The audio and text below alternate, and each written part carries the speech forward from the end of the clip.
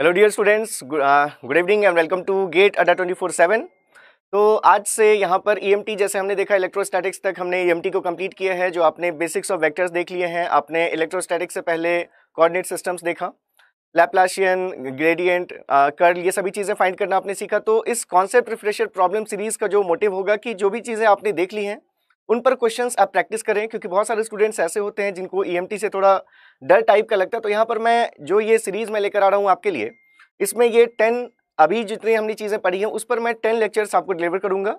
और आपको इस सीरीज़ को बहुत अच्छे से यूटिलाइज करना है, क्योंकि अभी जैसे ये फ़र्स्ट जो लेक्चर होगा हमारा, इसमें बेसिक्स ऑफ़ वेक्टर के क्वेश्चंस मैं आपके लिए लेकर आया हूँ। आप ये देख सकते हैं इस फॉर्म में हमारे पास ये क्वेश्चंस होंगे, मैं थोड़ा सा आपको टाइम दूँगा। तो अच्छे से यूटिलाइज करने के लिए आपको क्या करना है? जब भी कोई क्वेश्चन बोर्ड पर डिस्प्ले होगा तो आप उसको पॉज करके पहले खुद से सॉल्व करेंगे। क्योंकि सभी चीज़ें हम देख चुके हैं तो क्वेश्चन हमसे सॉल्व हो जाने चाहिए। अगर सॉल्व हो गया तो भी नहीं हुआ तो भी फिर आप उसके सॉल्यूशन में जाएँगे। और वीडियो के कमेंट सेक्शन में आप मुझे कमेंट करके बताएँगे कि आउट ऑफ़ ट्वेल्व यहाँ पर जो फ़र्स्ट वीडियो है हमारा, इसमें मैं ट्वेल्व क्वेश्चन लेने वाला हूँ। ये बिल्कुल बेसिक क्वेश्चन हैं। क्योंकि अगर हम बेसिक से चलेंगे तो हमें चीज़ें टफ नहीं लगेंगी। तो हमने ऑलरेडी थ्योरी कर चुकी है हम। तो अब हम उन पर प्रैक्टिस करेंगे प्रॉब्लम जिसमें आज का जो टॉपिक होगा that will be vector, algebra की जो बेसिक चीज़ें हैं, उन पर आज हम बात करेंगे। एक दो हम कोऑर्डिनेट सिस्टम के भी क्वेश्चंस देखेंगे। इसके बाद जो नेक्स्ट लेक्चर होगा, उसमें मैं आपके जो वेक्टर कैलकुलस की जो चीज़ें हैं, जैसे कर्ल ग्रेडियंट डाइवर्जेंस इन सब लैप्लाशी इन सब की बात करूँगा। स्टोक्स थ्योरम गॉस थ्योरम की बात करेंगे। फिर उसके बाद हम इलेक्ट्रोस्टैटिक्स पर आएँगे और इलेक्ट्रिक फ़ील्ड से रिलेटेड जो क्वेश्चंस हैं, उनका हम डिस्कशन करेंगे। इलेक्ट्रिक फ़ील्ड इंटेंसिटी कैसे कैलकुलेट करते हैं फ्लक्स डेंसिटी कैसे कैलकुलेट करते हैं गॉस लॉ कैसे अप्लाई करते हैं लैप्लाशियन कैसे यूज़ करते हैं। ये सभी चीज़ें हम देखेंगे बाउंड्री कंडीशन पर प्रॉब्लम्स देखेंगे। तो after the completion of this series you must be able to solve all the question till electrostatics तो बहुत अच्छे से यूटिलाइज कीजिएगा। और क्योंकि लाइव सेशन में आपका पार्टिसिपेशन इतना बहुत अच्छा नहीं था तो इसलिए मैं रिकॉर्डेड फॉर्म में ये लेक्चर्स दे रहा हूँ, जिससे कि आप अपने कन्वीनियंट के अकॉर्डिंग कभी भी इन लेक्चर्स को आप एक्सेस कर सकें। तो बिल्कुल कमेंट सेक्शन में बताना मत भूलिएगा कि आपने आउट ऑफ़ ट्वेल्व कितने क्वेश्चन आपने सॉल्व किए। अगर मोर देन सेवन क्वेश्चन आप अटैम्प्ट कर लेते हैं तो इट इज़ गुड अगर उससे और ज़्यादा कर लेते हैं तो बहुत ही अच्छी बात है। अगर सेवन से कम क्वेश्चंस भी आप अटेम्प्ट करें तो आप बस बिलीव मी आप धीरे धीरे धीरे धीरे आप प्रैक्टिस के थ्रू अपने लेवल को बहुत आगे ले जा सकते हैं। तो इसलिए मैंने यहाँ पर बिल्कुल बेसिक क्वेश्चन रखे जिससे कि आप सब लोग एटलीस्ट अटैम्प्ट कर पाए। तो चलिए एक बार मैं मोबाइल साइलेंट कर लेता हूँ कैलकुलेटर ओपन कर लेता हूँ और फिर हम इस सेशन को शुरू करेंगे। तो होप कि आप सब लोगों की प्रिपरेशन अच्छी चल रही होगी। चलिए हम स्टार्ट करते हैं आज के सेशन को। देखिए सबसे फ़र्स्ट क्वेश्चन क्या है? हमेशा याद क्या रखना है आपको? जैसे ही क्वेश्चन डिस्प्ले होगा, आपको वीडियो को पॉज करना है। पहले खुद से उस क्वेश्चन को ट्राई करना है, उसके बाद आपको सोल्यूशन पे जाना है। ठीक है? चलिए तो ये हमारा फ़र्स्ट क्वेश्चन आज के लिए। दैट इज़ देखिए आप पॉज कर लीजिए स्क्रीनशॉट ले सकते हैं आप। ओके तो क्वेश्चन हमारे पास the vector component of vector F जो कि हमारे पास गिवन है ten A X minus six A Y plus five A Z that is parallel to vector G कुछ ही हमारे पास वैल्यू गिवन है, और हमारे पास चार ऑप्शन हैं। देखिए, आज के जो क्वेश्चन हैं, ये मैंने आर के कनौड़िया बुक से लिया ठीक है? क्योंकि बेसिक क्वेश्चंस मुझे चाहिए थे, कहीं से भी हमें बेसिक क्वेश्चंस चाहिए जिनके थ्रू हम थोड़ा सा कॉन्सेप्ट फिर से डिस्कस कर सकें। तो आर के कनौड़िया के क्वेश्चंस हैं, बिल्कुल इसमें कुछ छुपाने वाली बात नहीं है। एक बुक से मैं आपको क्वेश्चंस लेकर दे रहा हूँ, कोई मेरे फ्रेम किए हुए क्वेश्चंस नहीं है। तो होप कि आप लोगों में से जिन्होंने भी ट्राई किया होगा, ये क्वेश्चन आपसे डेफिनेटली बन गया होगा। क्योंकि हमने क्या पढ़ा है? हमने पढ़ा है किसी वेक्टर के डायरेक्शन में या उसके परपेंडिकुलर जब आपको कंपोनेंट फाइंड करना होता है जैसे अगर आप कहें कि आपके पास ये एक, वेक्टर है ए ये एक आपका वेक्टर है ए और एक ही आपके पास दूसरा वेक्टर है बी अगर ये आपका दूसरा वेक्टर है बी तो हमने क्या क्या चीज़ें पढ़ी? हमने पढ़ा है स्केलर प्रोजेक्शन यानी scalar component of vector A along vector B कैसे कैलकुलेट करते हैं और वेक्टर प्रोजेक्शन। कि अगर हमें इसका वेक्टर कंपोनेंट चाहिए अलॉन्ग वेक्टर बी तो हम कैसे कैलकुलेट करते हैं? तो आपने जो दो चीज़ें देखी हैं आपने सबसे पहले देखा scalar component scalar component of vector A along B देखिए, हमने क्या चीज़ देखी है? बिल्कुल सिंपल हमें क्या देखा था? अगर हमें किसी भी वेक्टर का, किसी दूसरे वेक्टर के डायरेक्शन में कंपोनेंट चाहिए तो जिस वेक्टर के डायरेक्शन में कंपोनेंट चाहिए, उस वेक्टर के डायरेक्शन के यूनिट वेक्टर के साथ आप सिंपली डॉट प्रोडक्ट ले लीजिए इस वेक्टर का जिसका आपको कंपोनेंट चाहिए। मतलब अगर हम इस वेक्टर को यहाँ पर प्रोजेक्ट करें, ये स्केलर प्रोजेक्शन जो हमारे पास, ये जो कंपोनेंट आ रहा है, इसी कंपोनेंट को आपने कहा स्केलर प्रोजेक्शन या फिर scalar component of vector A along B तो ये जो चीज़ लिखते हैं आप इट इज़ गिवन एज जिस वेक्टर का कंपोनेंट चाहिए दैट इज़ वेक्टर ए और इसका डॉट प्रोडक्ट किसके साथ? जिस वेक्टर के डायरेक्शन में चाहिए, उस वेक्टर के डायरेक्शन में जो यूनिट वेक्टर होगा, उस यूनिट वेक्टर के साथ अगर डॉट प्रोडक्ट ले ले। तो अगर इसका एंगल अगर हम कहें कि ये जो एंगल है हमारा, अगर वो थीटा है, अगर ये वेक्टर बी का डायरेक्शन है तो इस डायरेक्शन का यूनिट वेक्टर भी यही होगा। इसी डायरेक्शन में अगर आप यूनिट वेक्टर देखेंगे तो यूनिट वेक्टर इसका इसी डायरेक्शन में होगा, ठीक है?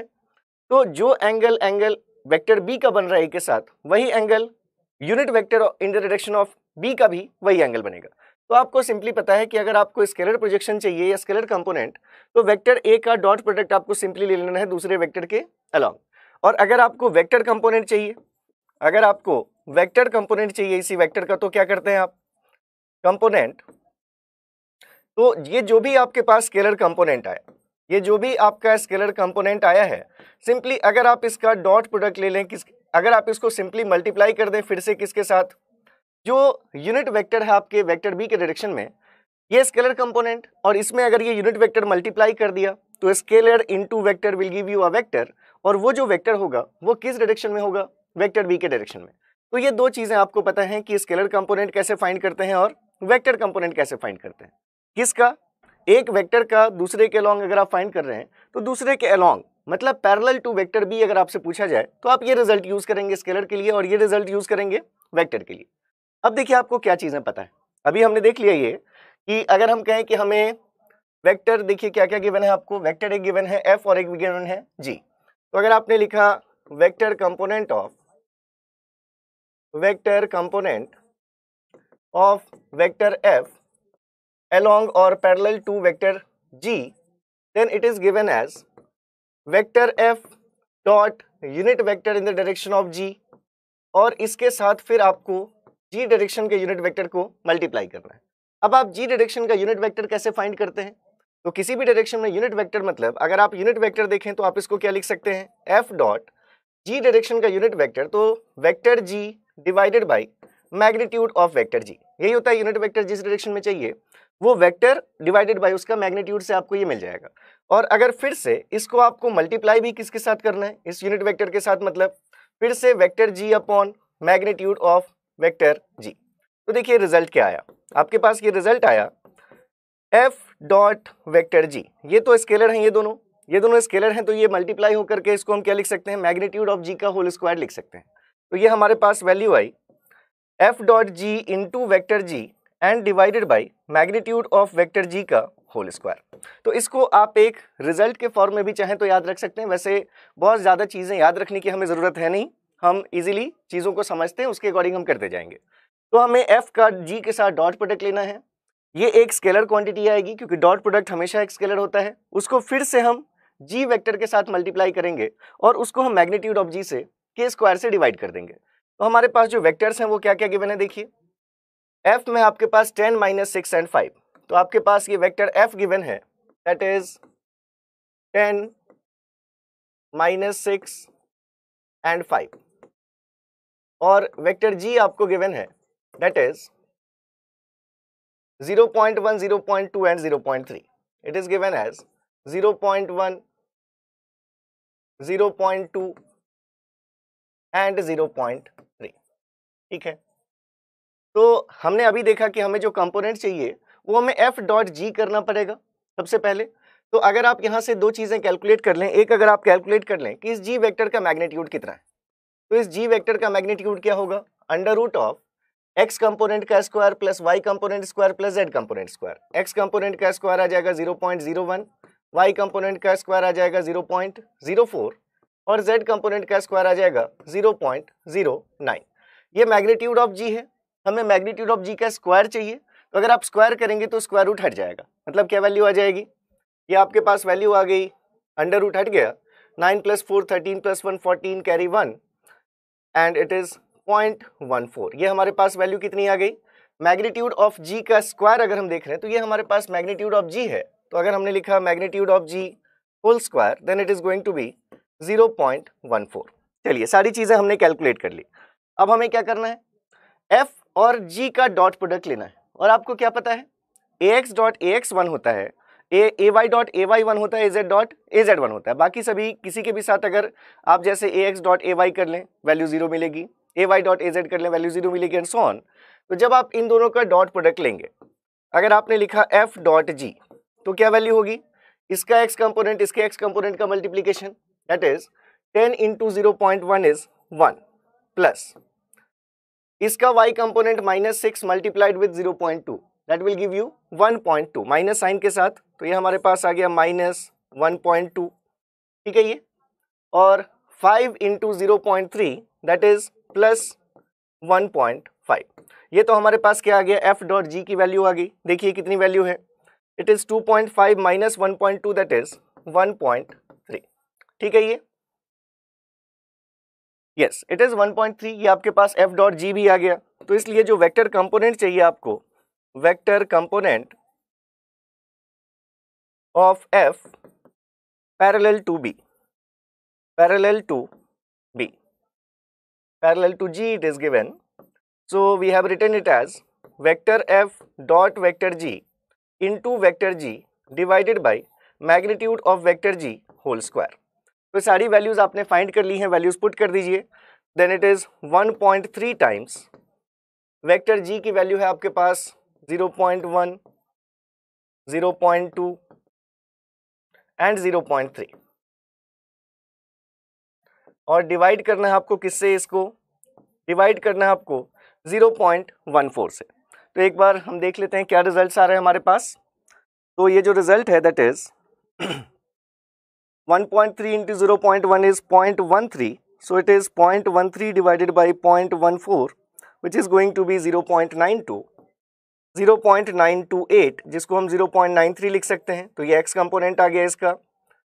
पॉइंट टू के साथ मल्टीप्लाई करेंगे वन पॉइंट थ्री को तो zero point two six.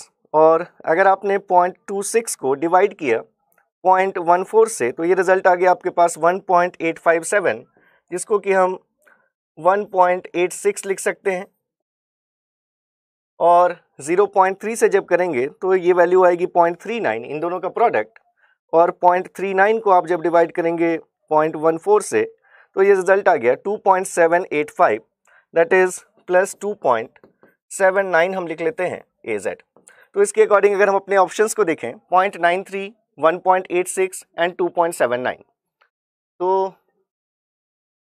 point nine three one point eight six three point seven eight not correct point nine three one point eight six two point seven nine मतलब ये आपको दिख रहा है कि C option आपके पास गिवन था जो कि आपने अभी फाइंड किया। तो होप कि आप लोगों में से जिनने भी सॉल्व किया होगा, आपका आंसर बिल्कुल करेक्ट आया होगा। कांग्रेट्स तो इस तरह से छोटे छोटे क्वेश्चन के थ्रू हम यहाँ पर अपने कॉन्सेप्ट को रिकॉल करेंगे। चलिए नेक्स्ट क्वेश्चन पर आते हैं हम। Question number one completed question number two same question है, लेकिन अब यहाँ पर डायरेक्शन क्या पूछा गया आपसे? Perpendicular to vector G. इसके पहले क्या था हमारे पास? इसके पहले हमारे पास क्वेश्चन में क्या था? हमारे पास क्वेश्चन में था पैरेलल टू वेक्टर जी। पहले पैरेलल पूछा गया, अब आपसे परपेंडिकुलर पूछा गया। तो देखिए, यहीं से, ये जैसे आपने अभी जो बात की, अगर मान लीजिए हमारे पास ये एक्टिव वेक्टर है ए और ये हमारा वेक्टर है B let's say it is vector B तो अगर आप इसका प्रोजेक्शन देखते हैं स्केलर प्रोजेक्शन या वेक्टर प्रोजेक्शन मान लीजिए कि आपने अगर इस पॉइंट से यहाँ पर परपेंडिकुलर ड्रॉ किया, ठीक है, अगर आपने परपेंडिकुलर ड्रॉ किया तो ये जो कंपोनेंट है अगर हम इसका मैग्नीट्यूड देखेंगे तो हम कहेंगे स्केलर कंपोनेंट है ए का बी के डायरेक्शन में।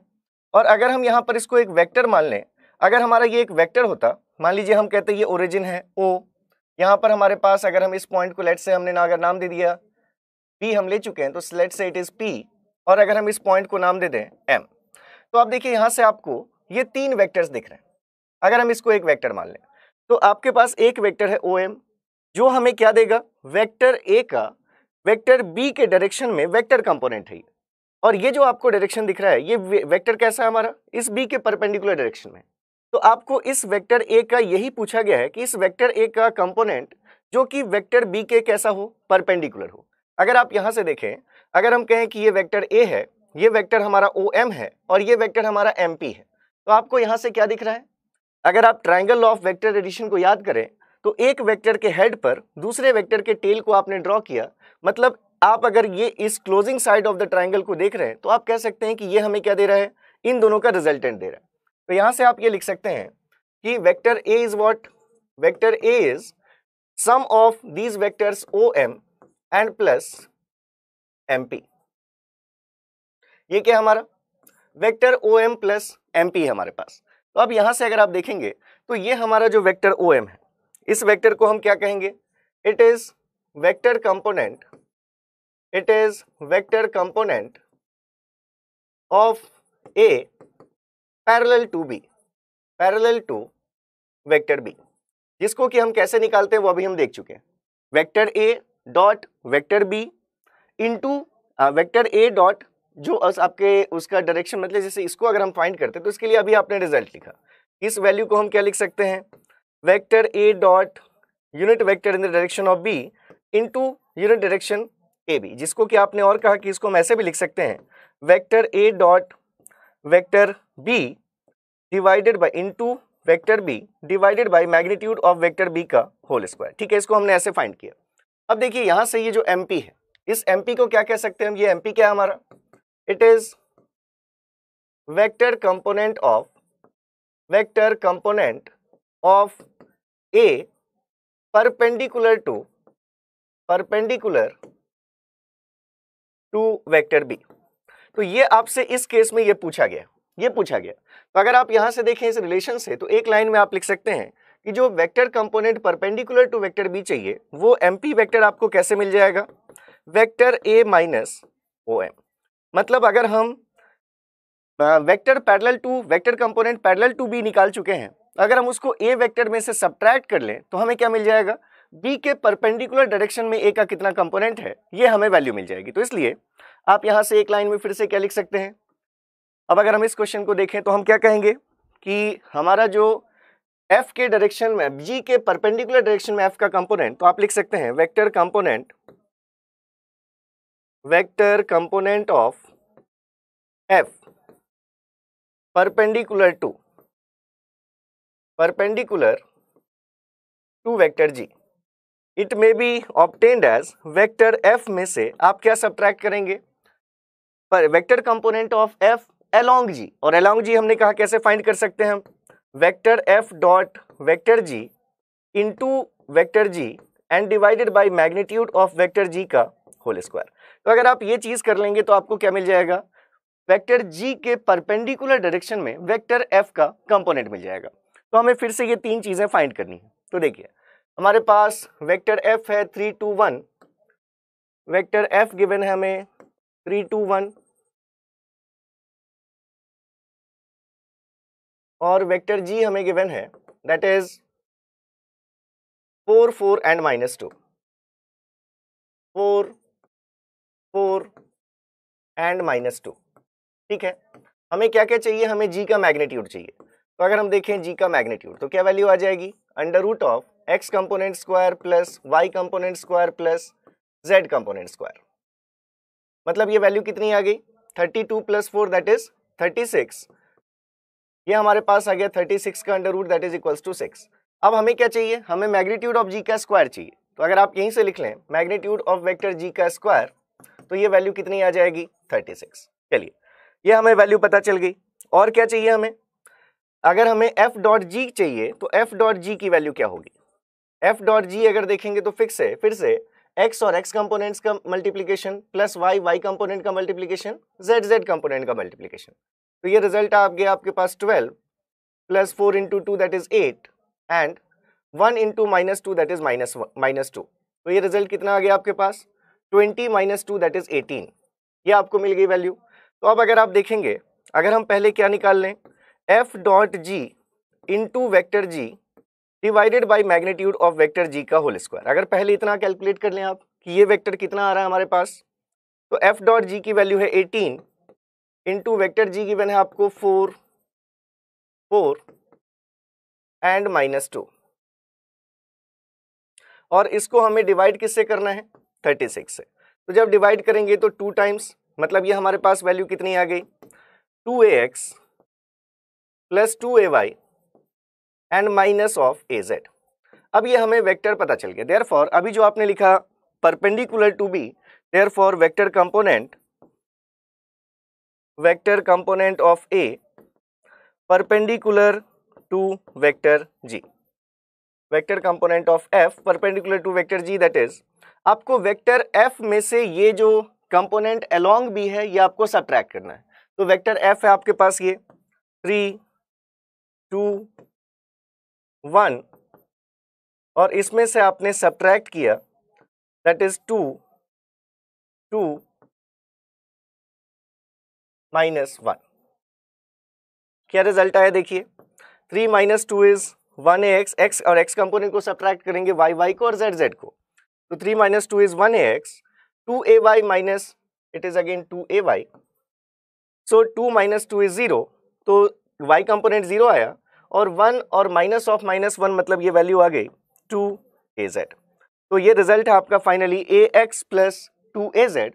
उसके अकॉर्डिंग अगर हम अपने ऑप्शंस को देखें तो ऑप्शंस की वैल्यूज़ हमारे पास हैं। तो A X plus two A Z मतलब ये सी ऑप्शन आपका करेक्ट है। तो बिल्कुल आप लोगों में से जिन्होंने ट्राई किया होगा, मैं समझता हूँ कि सभी लोगों का आंसर बिल्कुल करेक्ट आया होगा। जो लोग बिल्कुल नए हैं, जिन्होंने कभी प्रॉब्लम्स प्रैक्टिस ही नहीं की, आप ऐसा मत समझिए कि आप सबसे पीछे हैं। पीछे अभी हैं लेकिन एग्ज़ाम में अभी टाइम है, आपको उस लेवल तक पहुँचना है। अगर आप कोशिश करेंगे, डेफिनेटली आप पहुँच पाएँगे। इसलिए इतने बेसिक क्वेश्चन से मैंने स्टार्ट किया है। और ऐसा नहीं कि बेसिक क्वेश्चन होंगे। जो आपके अकॉर्डिंग एक्सट्रीम लेवल है क्वेश्चन के, हम वहाँ तक जाएँगे। ठीक है? आपको कहीं पर भी ऐसा नहीं लगेगा कि कोई क्वेश्चन आपके लिए टफ है या इजी है। एक बार आप जब सभी चीज़ों को एक बार थोरोली आप देख लेते हैं। चलिए तो हम चलते हैं अपने नेक्स्ट क्वेश्चन पर। कमेंट आपको ज़रूर करना है कि कितने क्वेश्चन आपके करेक्ट हुए। चलिए नेक्स्ट क्वेश्चन गिवन है, हमें ये भी बिल्कुल इजी क्वेश्चन है। गिवन द वेक्टर्स, आपके पास एम और एन दो वेक्टर्स गिवन है, और आपसे पूछा गया unit vector in the direction of minus M plus two N अपने आप में ये भी एक वेक्टर चीज़ होगी, कोई वेक्टर आएगा, दो वेक्टर्स का एडिशन या सब्ट्रैक्शन आपको एक वेक्टर देता है। तो इस वेक्टर के डायरेक्शन में आपको क्या चाहिए? यूनिट वेक्टर चाहिए।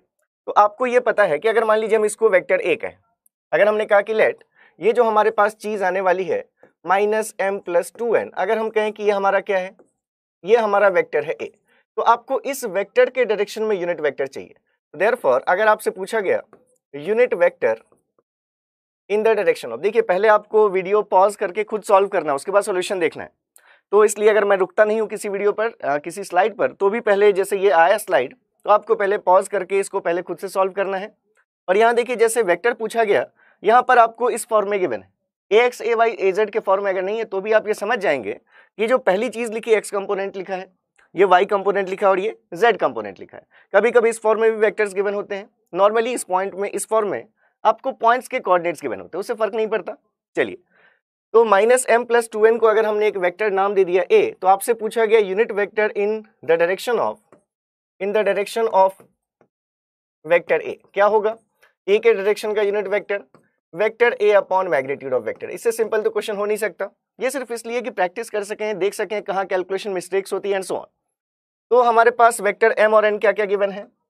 एम है आपके पास eight four minus eight M vector है आपके पास eight four and minus eight और एन वेक्टर गिवन है आपके पास that is eight six minus two eight six and minus two. तो अगर आपको वेक्टर ए चाहिए that is minus M plus two N तो minus M plus two N क्या होगा?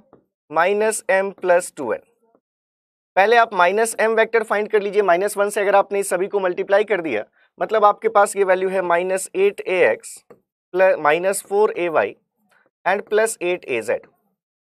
अब इसमें आपको ऐड क्या करना है? आपको ऐड करना है टू एन। किसी स्केलर से जब हम किसी वेक्टर को मल्टीप्लाई करते हैं तो सिंपली उसके सभी कंपोनेंट्स में वो चीज़ मल्टीप्लाई हो जाती है। जैसे यहाँ पर माइनस एम का मतलब है एम में आपने एक स्केलर माइनस वन मल्टीप्लाई किया। तो उस माइनस वन से हमने इन सभी कंपोनेंट्स को मल्टीप्लाई कर दिया। ऐसे ही अगर आपको टू एन चाहिए तो इस एन के सभी कंपोनेंट्स को टू से मल्टीप्लाई कर दीजिए। रिज़ल्ट क्या आ जाएगा? Sixteen A X plus twelve A Y and minus four A Z इन दोनों को ऐड कर दीजिए तो क्या रिज़ल्ट आया? इसी को आपने वेक्टर ए नाम दे दिया ठीक है?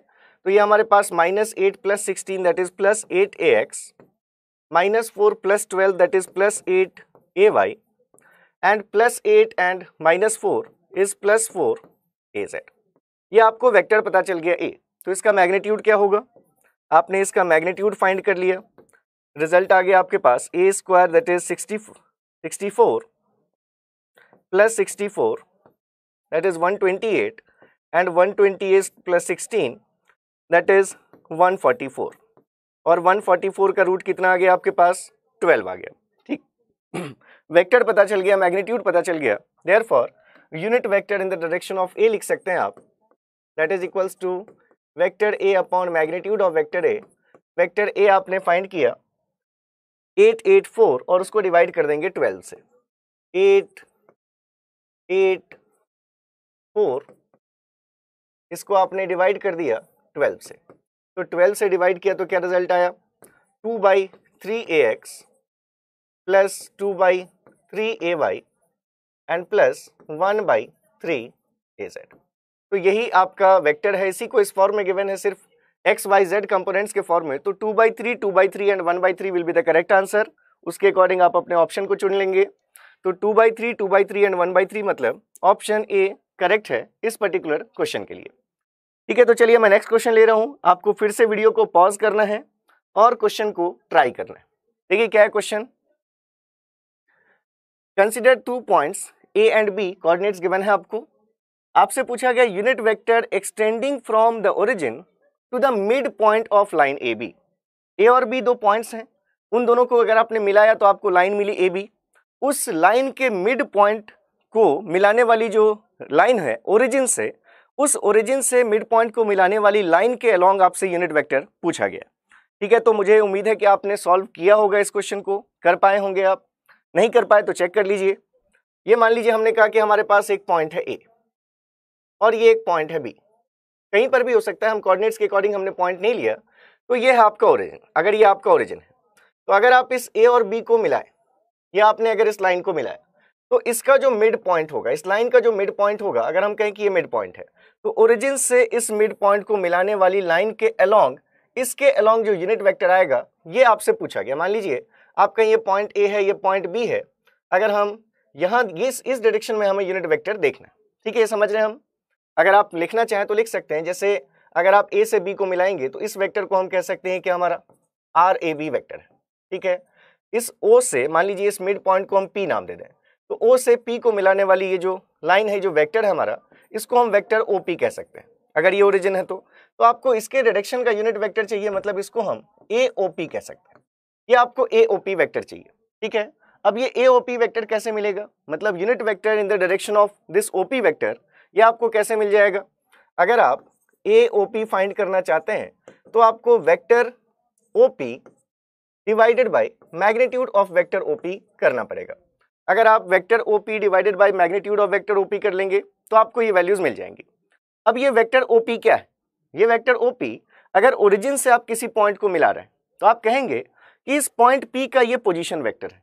पॉइंट पी का क्या है ये? पोजीशन वेक्टर तो इस यहाँ पर आप ये भी लिख सकते हैं where O P is is position vector of position vector of point P point P का पोजिशन वैक्टर है।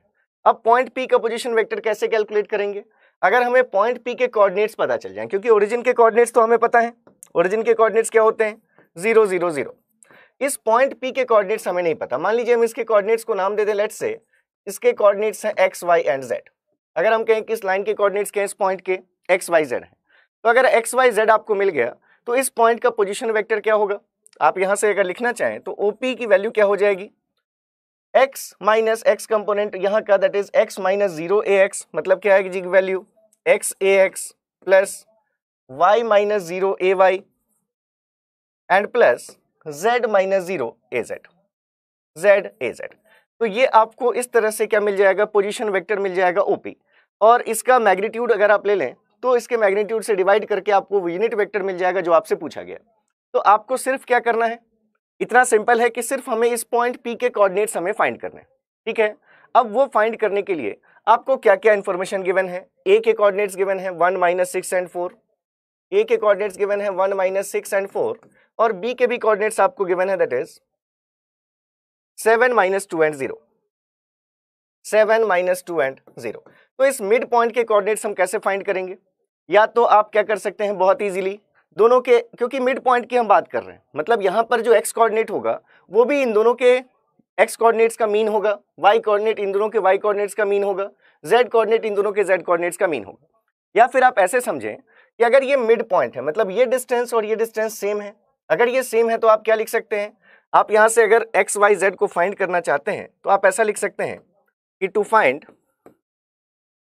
x y z जो एक्स वाई जेड कोऑर्डिनेट्स हैं तो आप यहाँ से ये देख सकते हैं कि अगर हम यहाँ का एक्स कंपोनेंट माइनस यहाँ का एक्स कोऑर्डिनेट अगर करेंगे तो ये जो वैल्यू होनी चाहिए, वो इसके एक्स कोऑर्डिनेट में से इसके एक्स कोऑर्डिनेट के डिफरेंस के बराबर होना चाहिए। मतलब हम तीन इक्वेशंस लिख सकते हैं। पहली इक्वेशन हम लिख सकते हैं that is x minus P point का ए पॉइंट का x coordinate that is one तो ये एक्स माइनस वन की वैल्यू किसके बराबर होगी? इसका एक्स कोऑर्डिनेट है seven minus x seven minus x के बराबर होगी। पहली इक्वेशन, इसको सॉल्व करेंगे एक्स की वैल्यू मिल जाएगी। सिमिलरली, सेकेंड इक्वेशन क्या लिख सकते हैं हम? y minus of minus 6 that will be y plus 6 is equals to minus 2 minus y, minus 2 minus y और तीसरी इक्वेशन क्या हो जाएगी? z माइनस फोर तीसरी इक्वेशन हो जाएगी हमारे पास, z minus four is equals to zero minus z तो यहाँ से देखिए क्या क्या रिजल्ट्स आ गए आपके पास? ये यहाँ से आ गया आपके पास two x is equals to eight और x is equals to four two x is equals to eight so x equals to four यहाँ से क्या वैल्यू आ गई? Two y equals to minus eight therefore y equals to minus four और यहाँ से आपको value milli two z equals to four therefore z equals to two यही सेम वैल्यू और कैसे आ जाती? अगर आप ऐसे फाइंड नहीं करना चाहते तो आप ऐसे भी फाइंड कर सकते थे. x इक्वल्स टू इन दोनों के एक्स कोऑर्डिनेट्स का सम मतलब one plus seven divided by two तो भी आपको फोर मिलता। वाई कोऑर्डिनेट इन दोनों के वाई कोऑर्डिनेट का mean that is minus six minus two minus six minus two divided by two तो यहाँ से भी आपको माइनस फोर मिल जाता। जेड कोऑर्डिनेट इन दोनों के जेड कोऑर्डिनेट्स का mean that is four plus zero divided by two तो यहाँ से भी आपको क्या वैल्यू मिल जाती? टू वैल्यू मिल जाती। एक्स वाई जेड पता चल गया तो हम ये पोजिशन वेक्टर ओपी फाइंड कर लेंगे अब। अब हमारे पास पोजिशन वेक्टर ओपी क्या आ गया?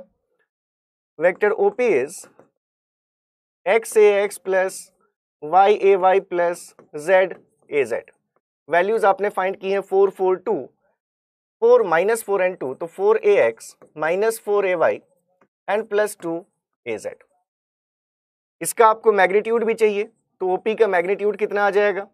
Under root of sixteen plus sixteen plus four that is what twenty thirty two plus four thirty six का अंडर रूट सिक्स आ गया।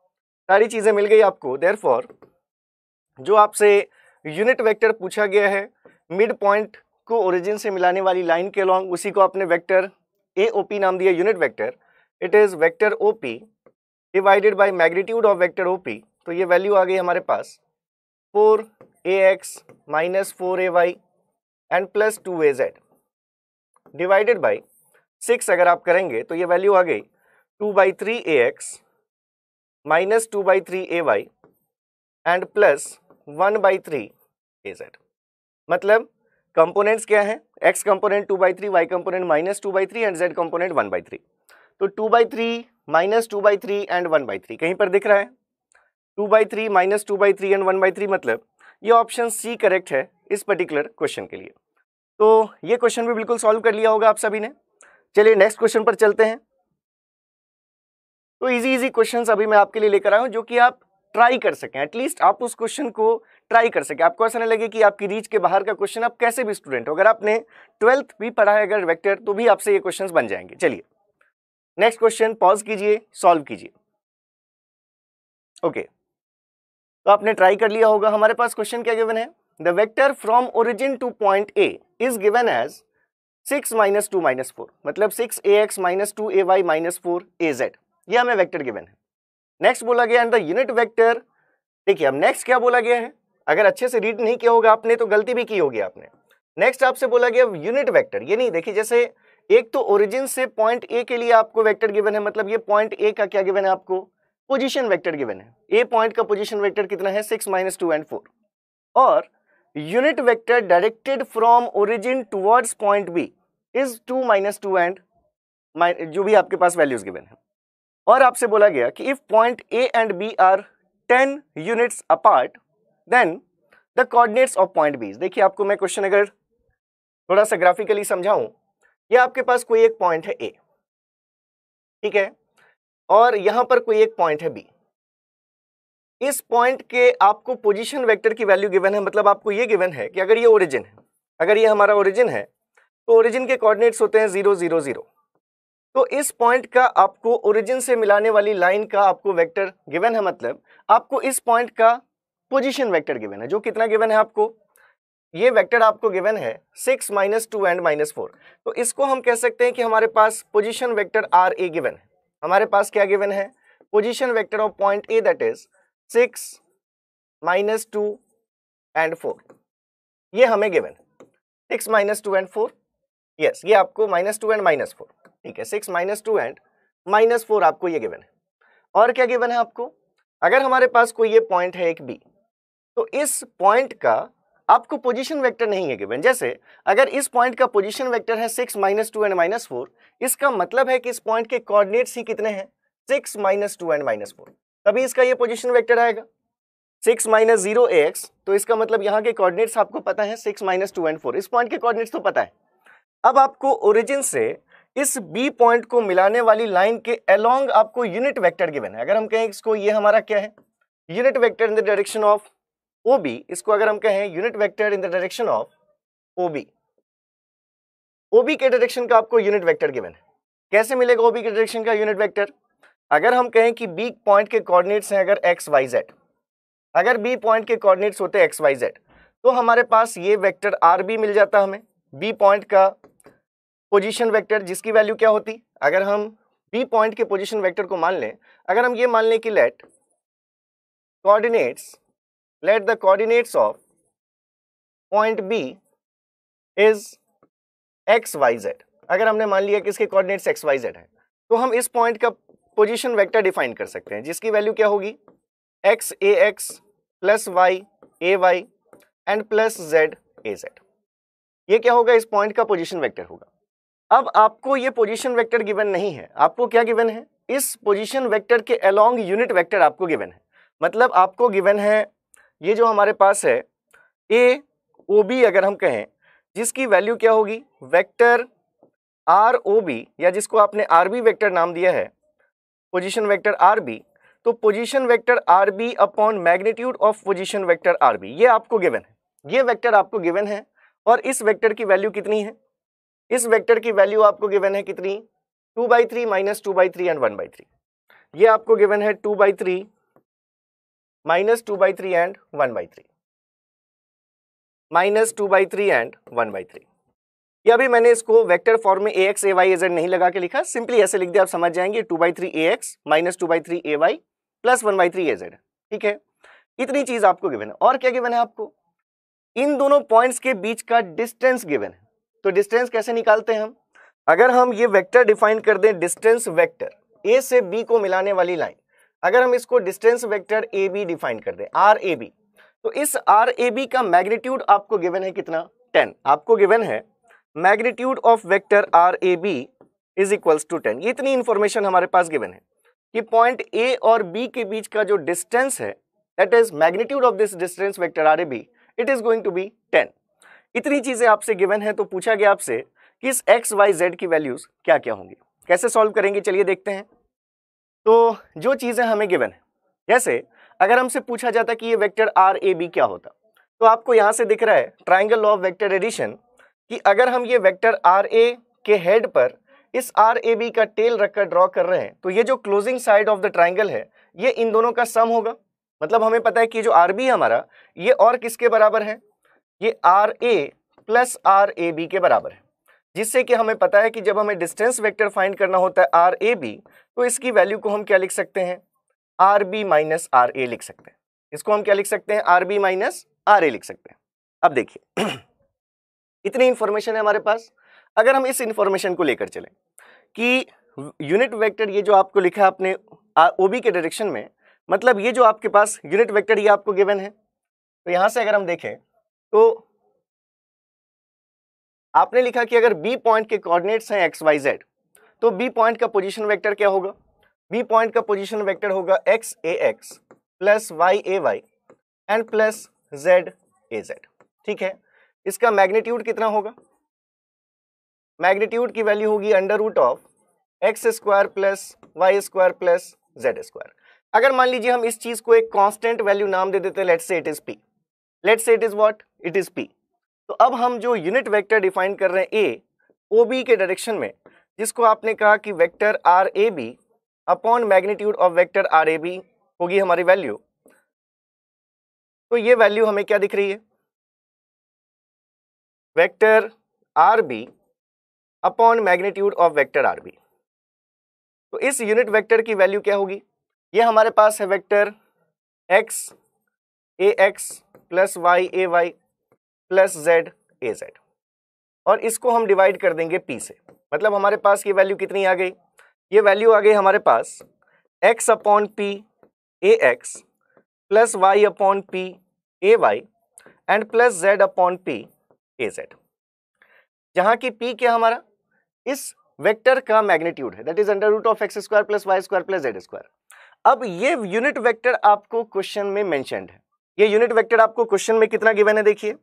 It is given to be it is given to be what two by three minus two by three and one by three ये आपको given है unit vector मतलब two by three a x वहाँ तो आपको bracket में ऐसे ही सिंबॉलिकली गिवन है two by three minus two by three and one by three का मतलब है two by three a x minus two by three a y and minus plus one by three plus one by three a z तो अब इन दोनों को अगर आप compare करेंगे अगर आप इन दोनों को कंपेयर करेंगे तो x कंपोनेंट यहाँ है x अपॉन पी और उसकी वैल्यू है two by three y component है y अपॉन पी उसकी वैल्यू है minus two by three z component है z अपॉन पी उसकी वैल्यू है वन बाई थ्री मतलब अगर आप यहाँ से देखें तो आपको तीन इक्वेशंस मिले। x upon p is equals to two by three y upon p is equals to minus two by three and z upon p is equals to one by three तो यहाँ से आप अगर देखें तो जो एक्स वाई जेड कोऑर्डिनेट्स चाहिए वो अब आपको पी के रिस्पेक्ट में पी के टर्म्स में आपको मिल रहे हैं। यहाँ से एक्स इक्वल्स टू हम क्या कह सकते हैं? Two p by three y equals to हम कह सकते हैं minus two p by three और जेड इक्वल्स टू हम कह सकते हैं माइनस पी बाई थ्री यहाँ तक आ गए हम। चलिए, इसको हम एक इक्वेशन मान लेते हैं कि हमारे पास एक्स वाई और जेड की वैल्यूज़ किन के टर्म्स में आ गई? पी के टर्म्स में आ गई। तो अब हमारा काम है कि हम पी की वैल्यू फाइंड कर ले।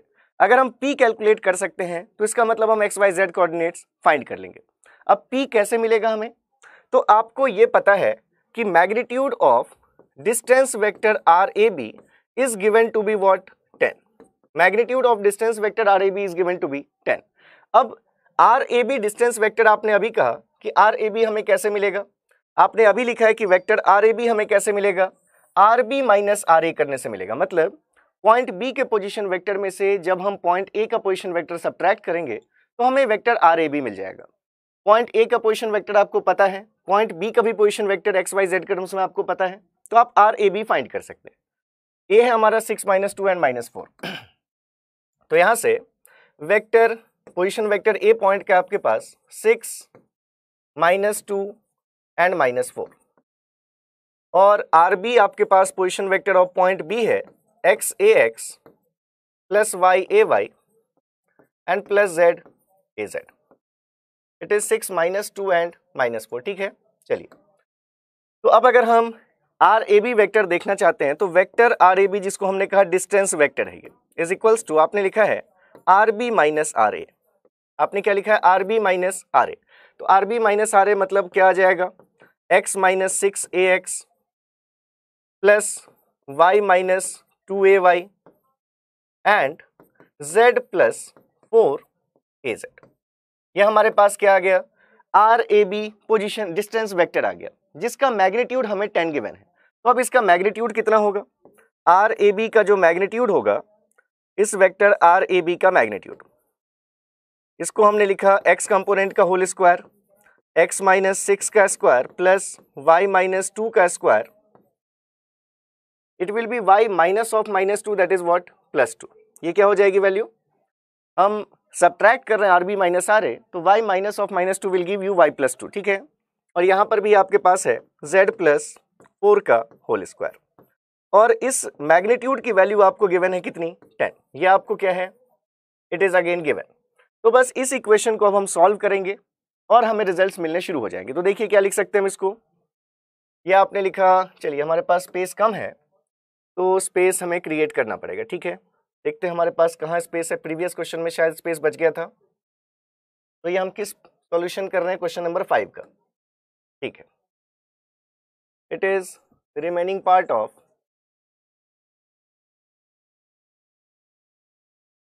solution question number five ठीक है।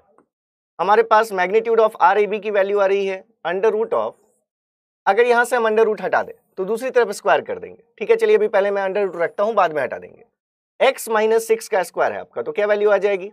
X square minus twelve x and plus thirty six plus y plus two है आपके पास, उसका स्क्वायर क्या आ जाएगा? Y square plus four y plus four और z प्लस फोर का आपके पास स्क्वायर है तो z प्लस फोर का स्क्वायर क्या आ जाएगा? Z square plus eight z plus four का स्क्वायर सिक्सटीन और ये वैल्यू आपको गिवन है कितनी? टेन दोनों तरफ़ स्क्वायर कर देंगे तो यहाँ से स्क्वायर रूट हट जाएगा, दूसरी तरफ़ हमारा हंड्रेड हो जाएगा।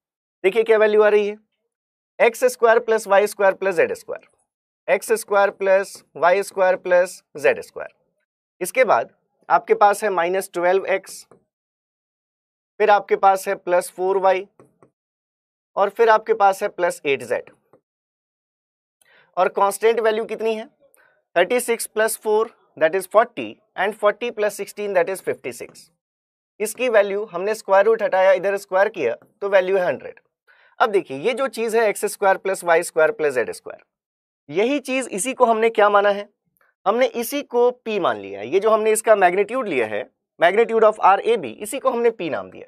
यहाँ देखा हमने, जो आपका आर बी है, जो position vector of point b है, उसके मैग्नीट्यूड को आपने under root x square plus y square plus z square को ही आपने पी माना है। तो इसलिए हम इस चीज़ को क्या लिख सकते हैं?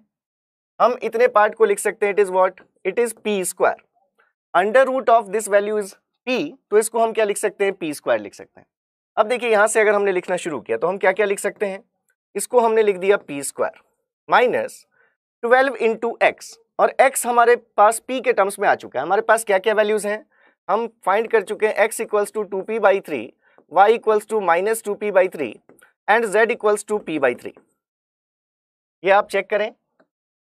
ये हमारे पास ये जो तीन इक्वेशंस आई थी यहाँ से हमारे पास ये वैल्यूज़ हैं two p by three minus two p by three and it is p by three ठीक है z upon p is one by three z upon p is plus one by three so it is going to be what plus p by three ठीक है तो ये हमने values यहाँ पर put कर दी। Z is equals to plus p by three तो क्या रिज़ल्ट आ जाएगा? Twelve into two p by three plus four into minus two p by three and plus eight into p by three is equals to hundred minus fifty six that is equals to forty four अब देखिए आपके पास एक quadratic equation form हो रही है। क्या equation बनी है आपके पास? पी स्क्वायर यहाँ से वैल्यू कितनी है? Three into twelve twelve upon three करेंगे तो ये value four into two that is minus eight p यहाँ से वैल्यू इट इज़ माइनस ये हमारे पास वैल्यू कितनी है?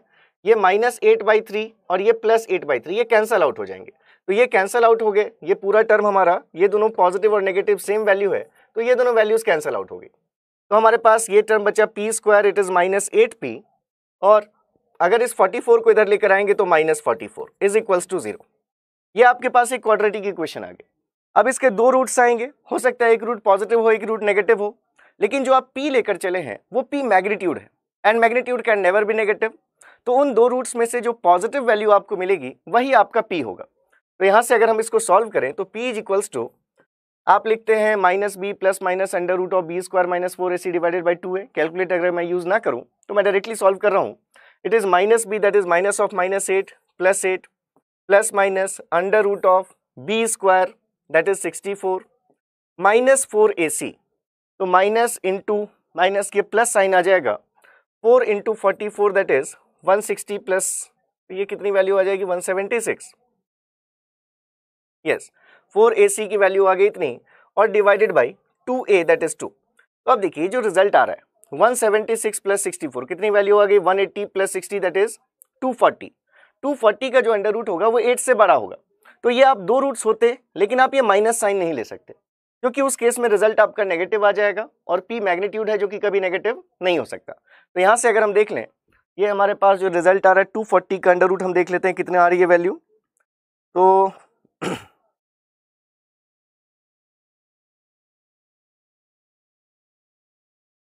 इसका स्क्वायर रूट आ गया फिफ्टीन पॉइंट फोर नाइन तो ये हमारे पास वैल्यू आ गई।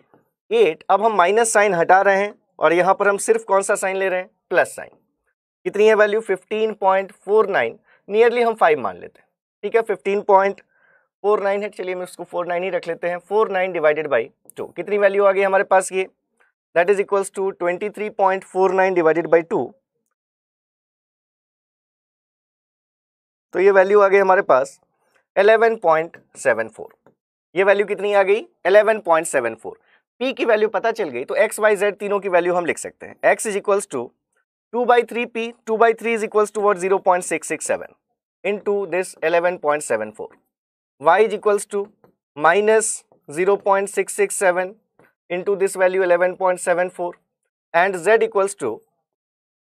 into this value 11.74 and z equals to 1 by 3p 1 by 3 is 0.33 so 0.33 into p that is 11.74 तीनों की वैल्यूज़ चेक कर लीजिए। तो इसको एक बार अगर हमने 0.667 से मल्टीप्लाई किया तो ये हमारे पास वैल्यू है 7.83 इतनी ही वैल्यू नेगेटिव है ये तो ये minus seven point eight three और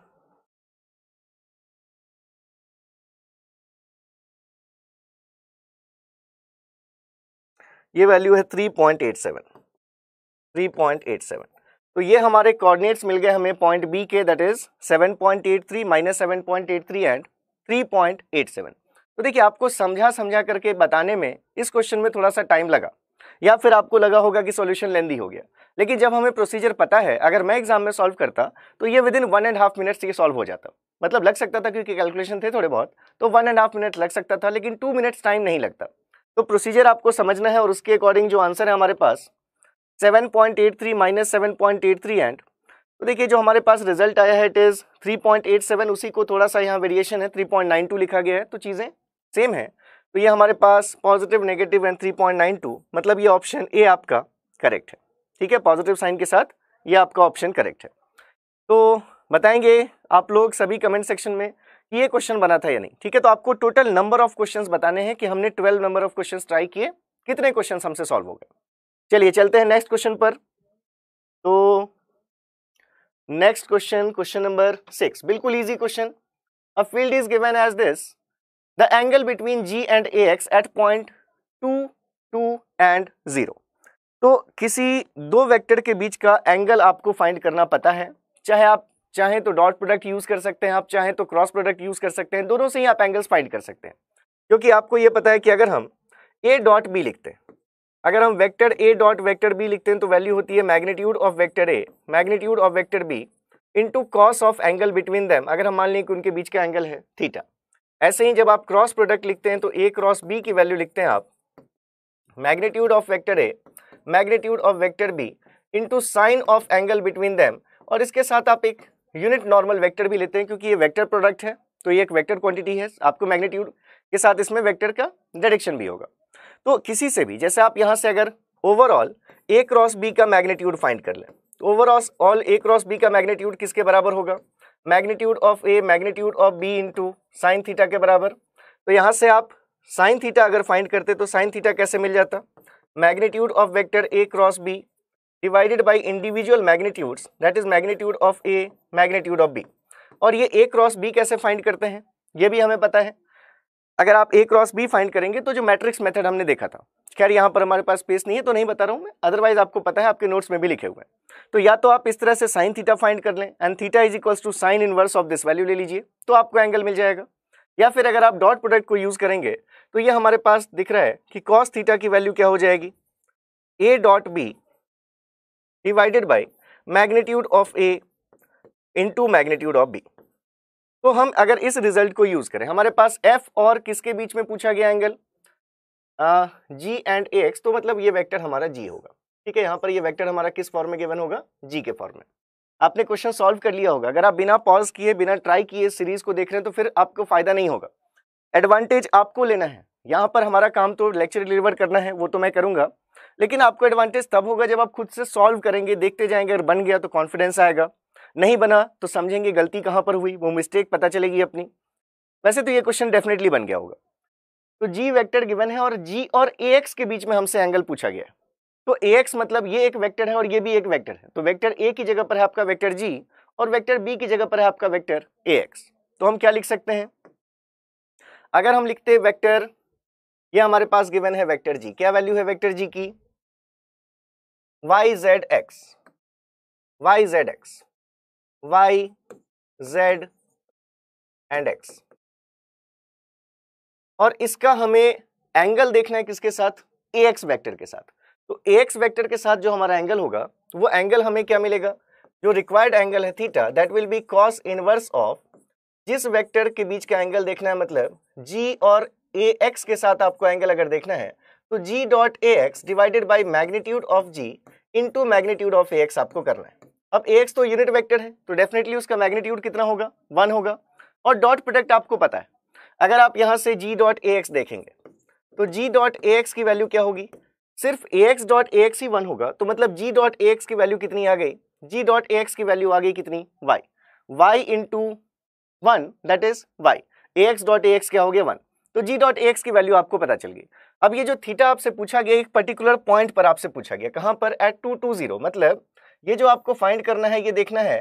एट टू टू ज़ीरो मतलब X coordinate two Y coordinate two and Z coordinate two तो यहाँ पर जो हमारे पास जी डॉट ए एक्स की वैल्यू आई है वाई आई। तो थीटा इज़ इक्वल्स टू लिखा आपने cos inverse of G dot A X is Y and divided by G का मैग्नीट्यूड कितना होगा? अगर आप यहाँ से देखें मैग्नीट्यूड ऑफ़ जी तो मैग्नीट्यूड ऑफ़ जी की value under root of Y square plus Z square plus X square तो यहाँ हमने लिखा under root of Y square plus Z square plus X square और हमें ये वैल्यू कहाँ पर देखनी है? एट टू टू ज़ीरो तो एक्स वाई और जेड की वैल्यूज़ पुट कर दीजिए पहले टू टू ज़ीरो तो वैल्यू आ गई हमारे पास कॉस इनवर्स ऑफ़ वाई की जगह two upon under root of two का square four plus Z square is zero and plus again X square will be two square that is four मतलब ये हमारे पास है under root eight under root eight को हम to root to भी लिख सकते हैं। तो ये हमारे पास वैल्यू आ गई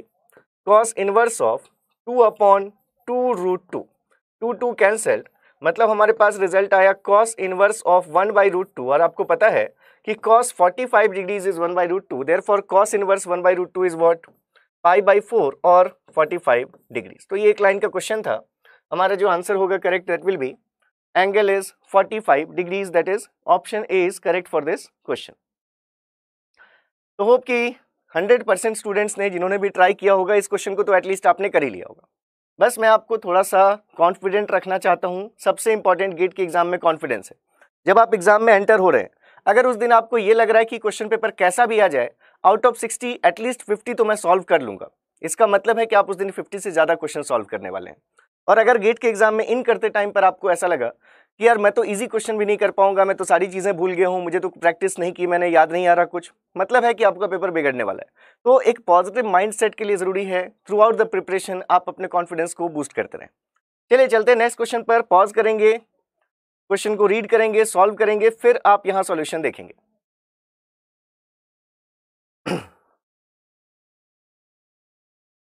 ठीक है तो आपने ट्राई कर लिया होगा। अब ये क्वेश्चन मैंने क्यों रखा? क्योंकि कई स्टूडेंट्स इस टाइप के क्वेश्चंस पढ़ते हैं और उनको लगता है कि ये क्वेश्चन टफ है। जैसे ही हमारे पास क्वेश्चन गिवन है vector field is given as G vector आपको गिवन है। The equation of the surface M on which magnitude of G is 60 अब ये समझ में नहीं आता हम कैसे ऐसा सरफेस की इक्वेशन कहाँ से बनाएँ? ये सब चीज़ें तो बहुत मैथमेटिकल चीज़ें हैं, हमें नहीं पता। आपको सिर्फ़ ये देखना है कि यहाँ पर गिवन क्या है। एक एम ऐसा हमें सरफेस देखना है जहाँ पर मैग्नीट्यूड ऑफ़ जी की वैल्यू 60 हो। तो अगर आपको ये वेक्टर जी गिवन है तो आप इस वेक्टर जी का मैग्नीट्यूड कैलकुलेट कर सकते हैं। उसको 60 से इक्वेट कर दीजिए, जो इक्वेशन बनेगी वही इक्वेशन आपका आंसर है। मतलब ये एक लाइन का क्वेश्चन है। यहाँ रखने का पर्पस बस ये है कि आपको इस टाइप के क्वेश्चन पढ़कर जो डर लगता है वो चीज़ें दिमाग से हटा दीजिए। ये बिल्कुल ईजी चीज़ें तो अगर हमारे पास देखें कि रिज़ल्ट क्या आएगा तो जी वेक्टर हमें गिवन है twelve X Y plus six into X square plus two. तो हमारे पास ये जी वेक्टर गिवन है। That is twelve X Y A X plus six plus X square और two plus X square. Okay six into X square plus two, X square plus two A Y and plus eighteen Z square A Z plus eighteen Z square A Z अगर हम इसका magnitude find करें, इस जी का magnitude क्या हो जाएगा? Under root of X component square, that is 144 X square Y square plus Y component का स्क्वायर सिक्स का स्क्वायर आ गया 36 ए प्लस बी के होल स्क्वायर से ओपन कर दीजिए तो A square plus two A B plus B square और फिर से z कंपोनेंट का square that is 144 z to the power 4 अब आपको ये जो मैग्नीट्यूड गिवन है, ये कितना गिवन है? बोला गया आपसे कि जो मैग्नीट्यूड है, हमें वो सरफेस चाहिए जहाँ पर इस जी का मैग्नीट्यूड 60 हो। तो आपने क्या किया? इस मैग्नीट्यूड की वैल्यू को पुट कर दिया 60 60 बोला गया है? यस अब अगर आप यहाँ से स्क्वायर रूट हटाना चाहते हैं, दूसरी तरफ़ स्क्वायर कर दीजिए तो क्या रिज़ल्ट आ गया देखिए? It is 144 X square Y square plus 36 X to the power four plus okay it will be two A B so two into two will be four ये हमारी वैल्यू क्या होगी? Four X square.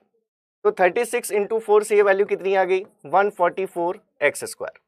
And plus 36 six into four that is again 144 and plus it is 144 z to the power four इसकी value यहाँ से square root हटाया तो 60 का स्क्वायर किया आपने, वैल्यू आई 3600 ठीक है ये?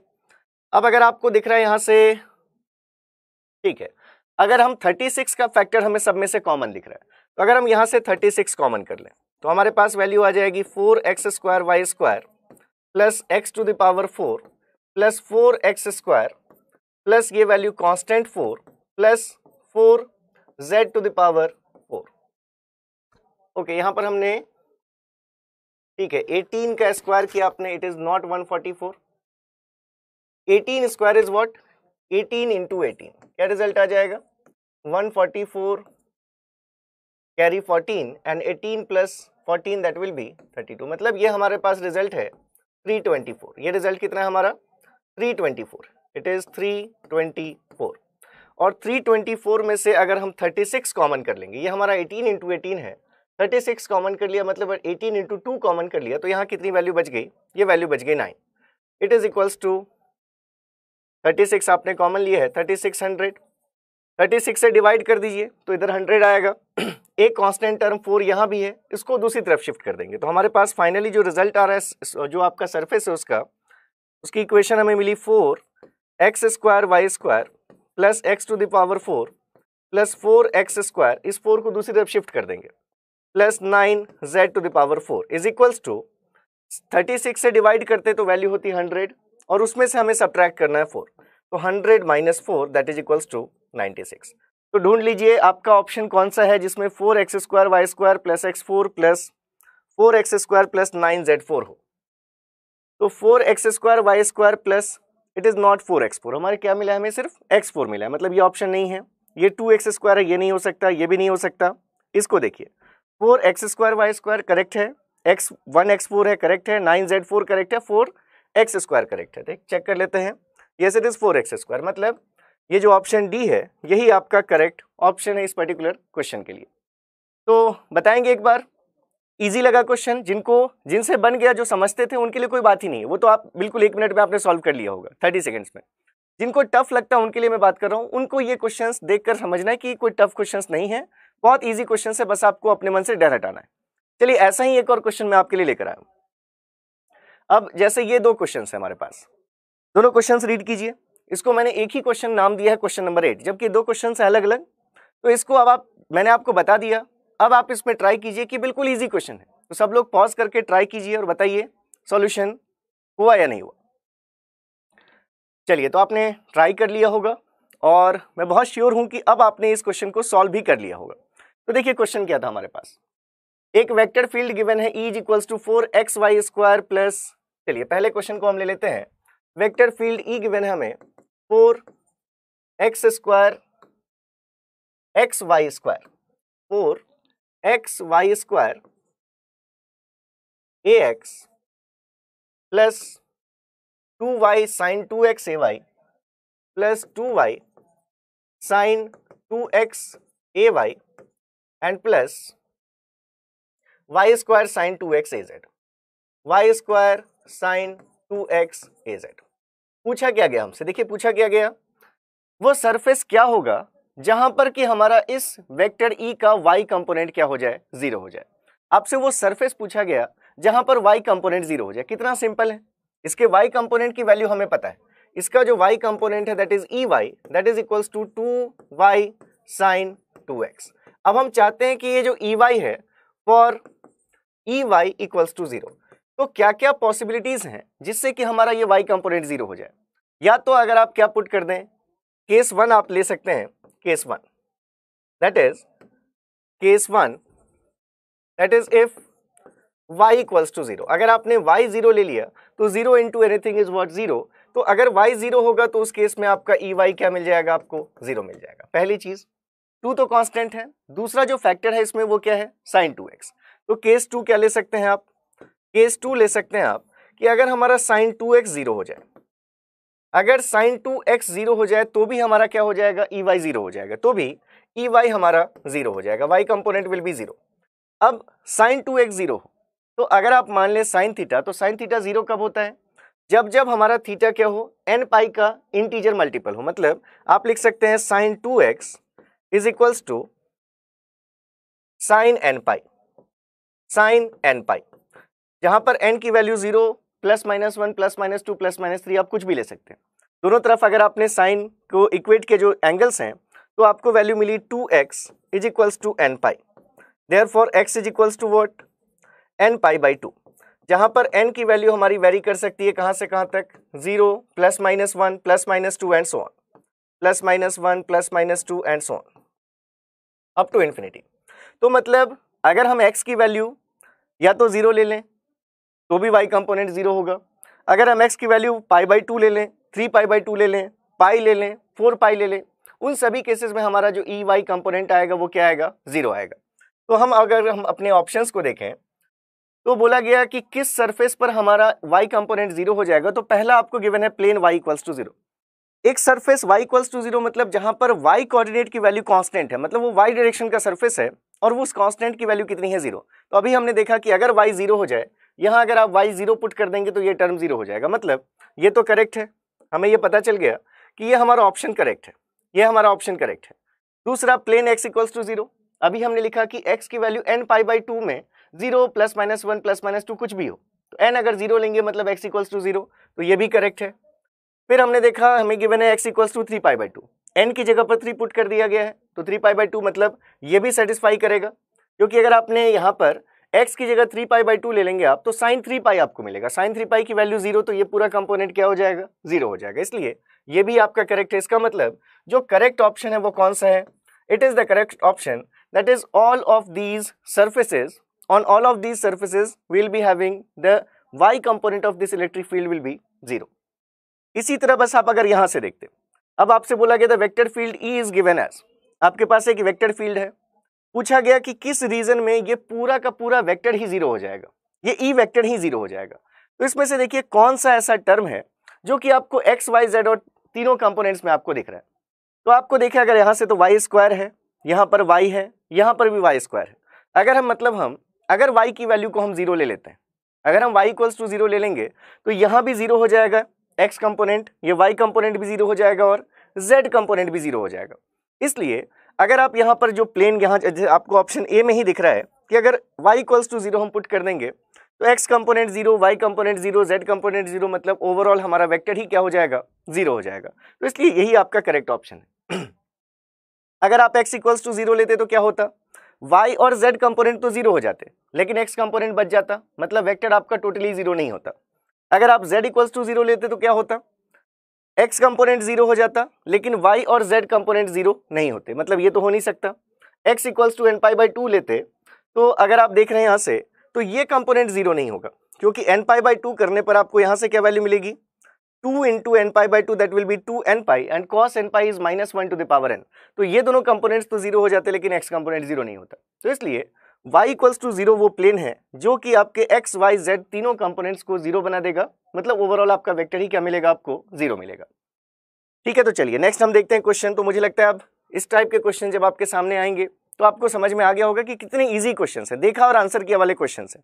लेकिन अगर आपको थोड़ा सा इन चीज़ों को लेकर घबराहट अगर होती है तो फिर ये क्वेश्चन पढ़ के हमें समझ में नहीं आता कि हम कैसे डिसाइड करें किस प्लेन में ज़ीरो होगा। चलिए तो मुझे लगता है आगे आप लोग इस चीज़ का ध्यान रखेंगे। तो मैं बिल्कुल अभी जो ये बिगनर जो हमारा फ़र्स्ट लेक्चर है, ये actually it is dedicated to the pure tyro जो एकदम ही बिगनर्स हैं, उनके लिए हम ये लेक्चर्स यहाँ पर लेकर आ रहे हैं। धीरे धीरे हमारे क्वेश्चन का लेवल बढ़ेगा डेफिनेटली आप एंजॉय करेंगे। चलिए नेक्स्ट क्वेश्चन आपके लिए स्क्रीन पर है। पॉज कीजिए वीडियो को और सॉल्व कीजिए इस क्वेश्चन को।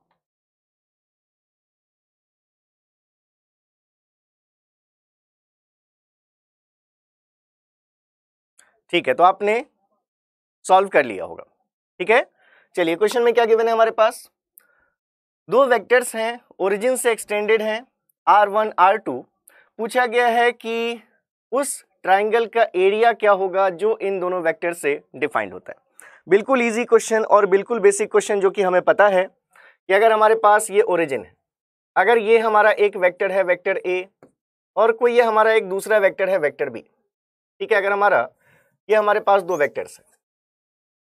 अगर हमारे पास एक ये वेक्टर है, वेक्टर ए और हमारे पास अगर ये दूसरा एक वेक्टर हो दैट इज़ वेक्टर बी ये अगर हमारे पास है वेक्टर बी तो आपने क्या पढ़ा है? कि अगर हम इन दोनों वेक्टर का क्रॉस प्रोडक्ट लेते हैं तो उस क्रॉस प्रोडक्ट का जो मैग्नीट्यूड होता है, उस क्रॉस प्रोडक्ट का मैग्नीट्यूड हमें क्या देता है?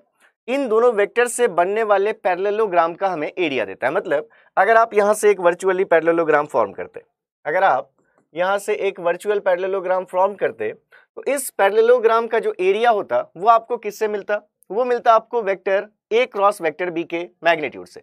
तो अब अगर हमें उस ट्राइंगल का एरिया चाहिए जो इन दोनों वेक्टर से मिल रहा है मतलब अगर हम इस पैरेललोग्राम को दो पार्ट्स में डिवाइड कर देंगे तो मतलब ये ये जो हम दो पार्ट्स में डिवाइड करेंगे, इस पैरेललोग्राम को अगर आपने, अगर मान लीजिए आपने ये हाफ़ ले लिया तो ये इस इस ट्राइंगल का एरिया प्लस इस ट्राइंगल का एरिया ये दोनों एरिया आपके क्या होंगे? सेम होंगे। और दोनों मिलकर आपको पैरेललोग्राम का एरिया मिलेगा। मतलब अगर हमसे एरिया ऑफ़ द ट्राइंगल पूछा गया एरिया ऑफ़ ट्राइंगल अगर हमसे पूछा गया है तो एरिया ऑफ़ ट्राइंगल की वैल्यू क्या होगी? One by two times magnitude of A cross B अब वेक्टर ए क्रॉस बी आप कैसे कैलकुलेट करते हैं?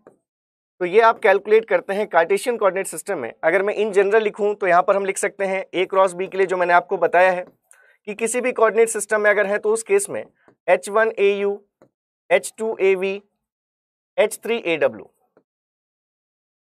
यहाँ पर क्या होगी वैल्यू जो आपके कंपोनेंट्स हैं A U A V A W A U A V A W यहाँ पर तीस, जो दूसरे कंपोनेंट्स हैं आपके, वो मतलब कि b u b v and b W तो यहाँ पर हमारे कार्टेशियन कोऑर्डिनेट सिस्टम है तो यहाँ पर तो हमें कोई टेंशन ही नहीं है। यहाँ पर हमारे वेक्टर्स कार्टेशियन कोऑर्डिनेट सिस्टम में गिवन है तो यहाँ पर डायरेक्टली क्या रिज़ल्ट आ जाएगा हमारे पास? यहाँ पर आ जाएगा a x a y a z यहाँ पर ए का एक्स वाई और जेड कंपोनेंट यहाँ पर बी का एक्स वाई और जेड कंपोनेंट तो ए बी के जो कंपोनेंट्स हैं, वो क्या है? आर वन आर टू के नाम से गिवन है तो इसको हम आर वन आर टू लिख लेते हैं, ठीक है? किससे कोई प्रॉब्लम नहीं है। आर वन आर टू के नाम से आपको गिवन है। R one cross r two तो यहाँ से r one cross r two पहले हम निकाल रहे हैं। आर वन के जो कंपोनेंट्स है that are four three and minus two ये हमारे पास वैल्यूज़ हैं फोर थ्री माइनस टू और आर टू के जो कंपोनेंट्स हैं three minus four and minus six three minus four and minus six क्या हो जाएगा? इस डिटर्मिनेंट की वैल्यू चेक कीजिए। तो ए एक्स के साथ कोफिशियंट क्या आएगा? इस कॉलम इस रो को हटा दिया हमने। Minus eighteen and minus minus plus हो गया, लेकिन बीच में हमें माइनस साइन लेना है। तो minus eighteen and minus eight मतलब ये वैल्यू कितनी आ गई? Minus eighteen minus eight that will be minus twenty six minus eighteen minus eight that will be minus twenty six ठीक है, फिर माइनस साइन के साथ अगला आप लेते हैं ए वाई इसके कोफिशियंट देखिए, इस कॉलम को हटा दीजिए, इस रो को हटा दीजिए। Four into minus six is minus twenty four and minus of minus two into three that is minus six तो माइनस ऑफ़ माइनस सिक्स मतलब ये वैल्यू क्या हो जाएगी? प्लस सिक्स हो जाएगी। और z के कंपोनेंट्स अगर आप देखेंगे ए जेड के साथ तो आपने इस कॉलम और इस रो को हटाया। Four into minus four is minus sixteen and minus nine. तो ये आपके पास रिज़ल्ट आया माइनस सिक्सटीन, माइनस नाइन। मतलब हमारे पास ये वेक्टर जो आ रहा है that is minus twenty six a x minus और ये minus. It is minus eighteen minus eighteen और ये माइनस मिलकर प्लस हो जाएगा एटीन ए वाई और ये आपकी वैल्यू है minus twenty five a z तो इसके मैग्नीट्यूड को हमें क्या करना है? वन बाई टू से डिवाइड करना है। तो इसका मैग्नीट्यूड कैसे मिलेगा हमें? ये आपको vector r one cross r two मिला अभी। R one cross r two जिसकी वैल्यू आपको मिली है minus twenty six a x plus eighteen a y and minus twenty five a z. Check कर लेते हैं, यही है वेक्टर हमारा? यस। yes. तो इसका मैग्नीट्यूड हमने फाइंड किया। Magnitude of r one cross r two. तो ये वैल्यू हो गई under root of twenty six का square six seventy six minus sign plus हो गया।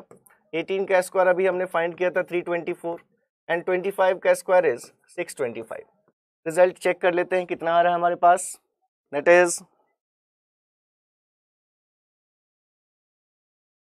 six seventy six plus three twenty four and plus six twenty five one six two five square root is forty point three one one is forty point three one तो इसलिए अगर हम area of the triangle की बात कर रहे हैं तो एरिया ऑफ़ ट्राइंगल की वैल्यू क्या आ जाएगी?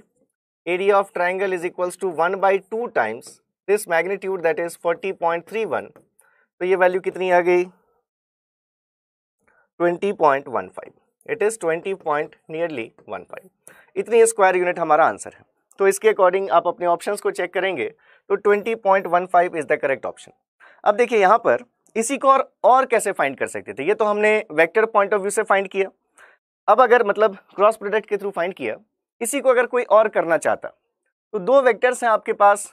अगर आप ये मान लें कि ये ओरिजिन से अगर एक्सटेंडेड वेक्टर्स हैं तो एक वेक्टर के लिए आपके पास four a x three a y minus two a z मान लीजिए कि हम कहें कि हमारे पास ये कोई पॉइंट है ओरिजिन तो एक वेक्टर है आपके पास। अगर हम इसका पोजीशन वेक्टर कहें कि आर ए हमारे पास या जिसको आर वन नाम से दिया गया तो ये डिस्टेंस कितना होगा?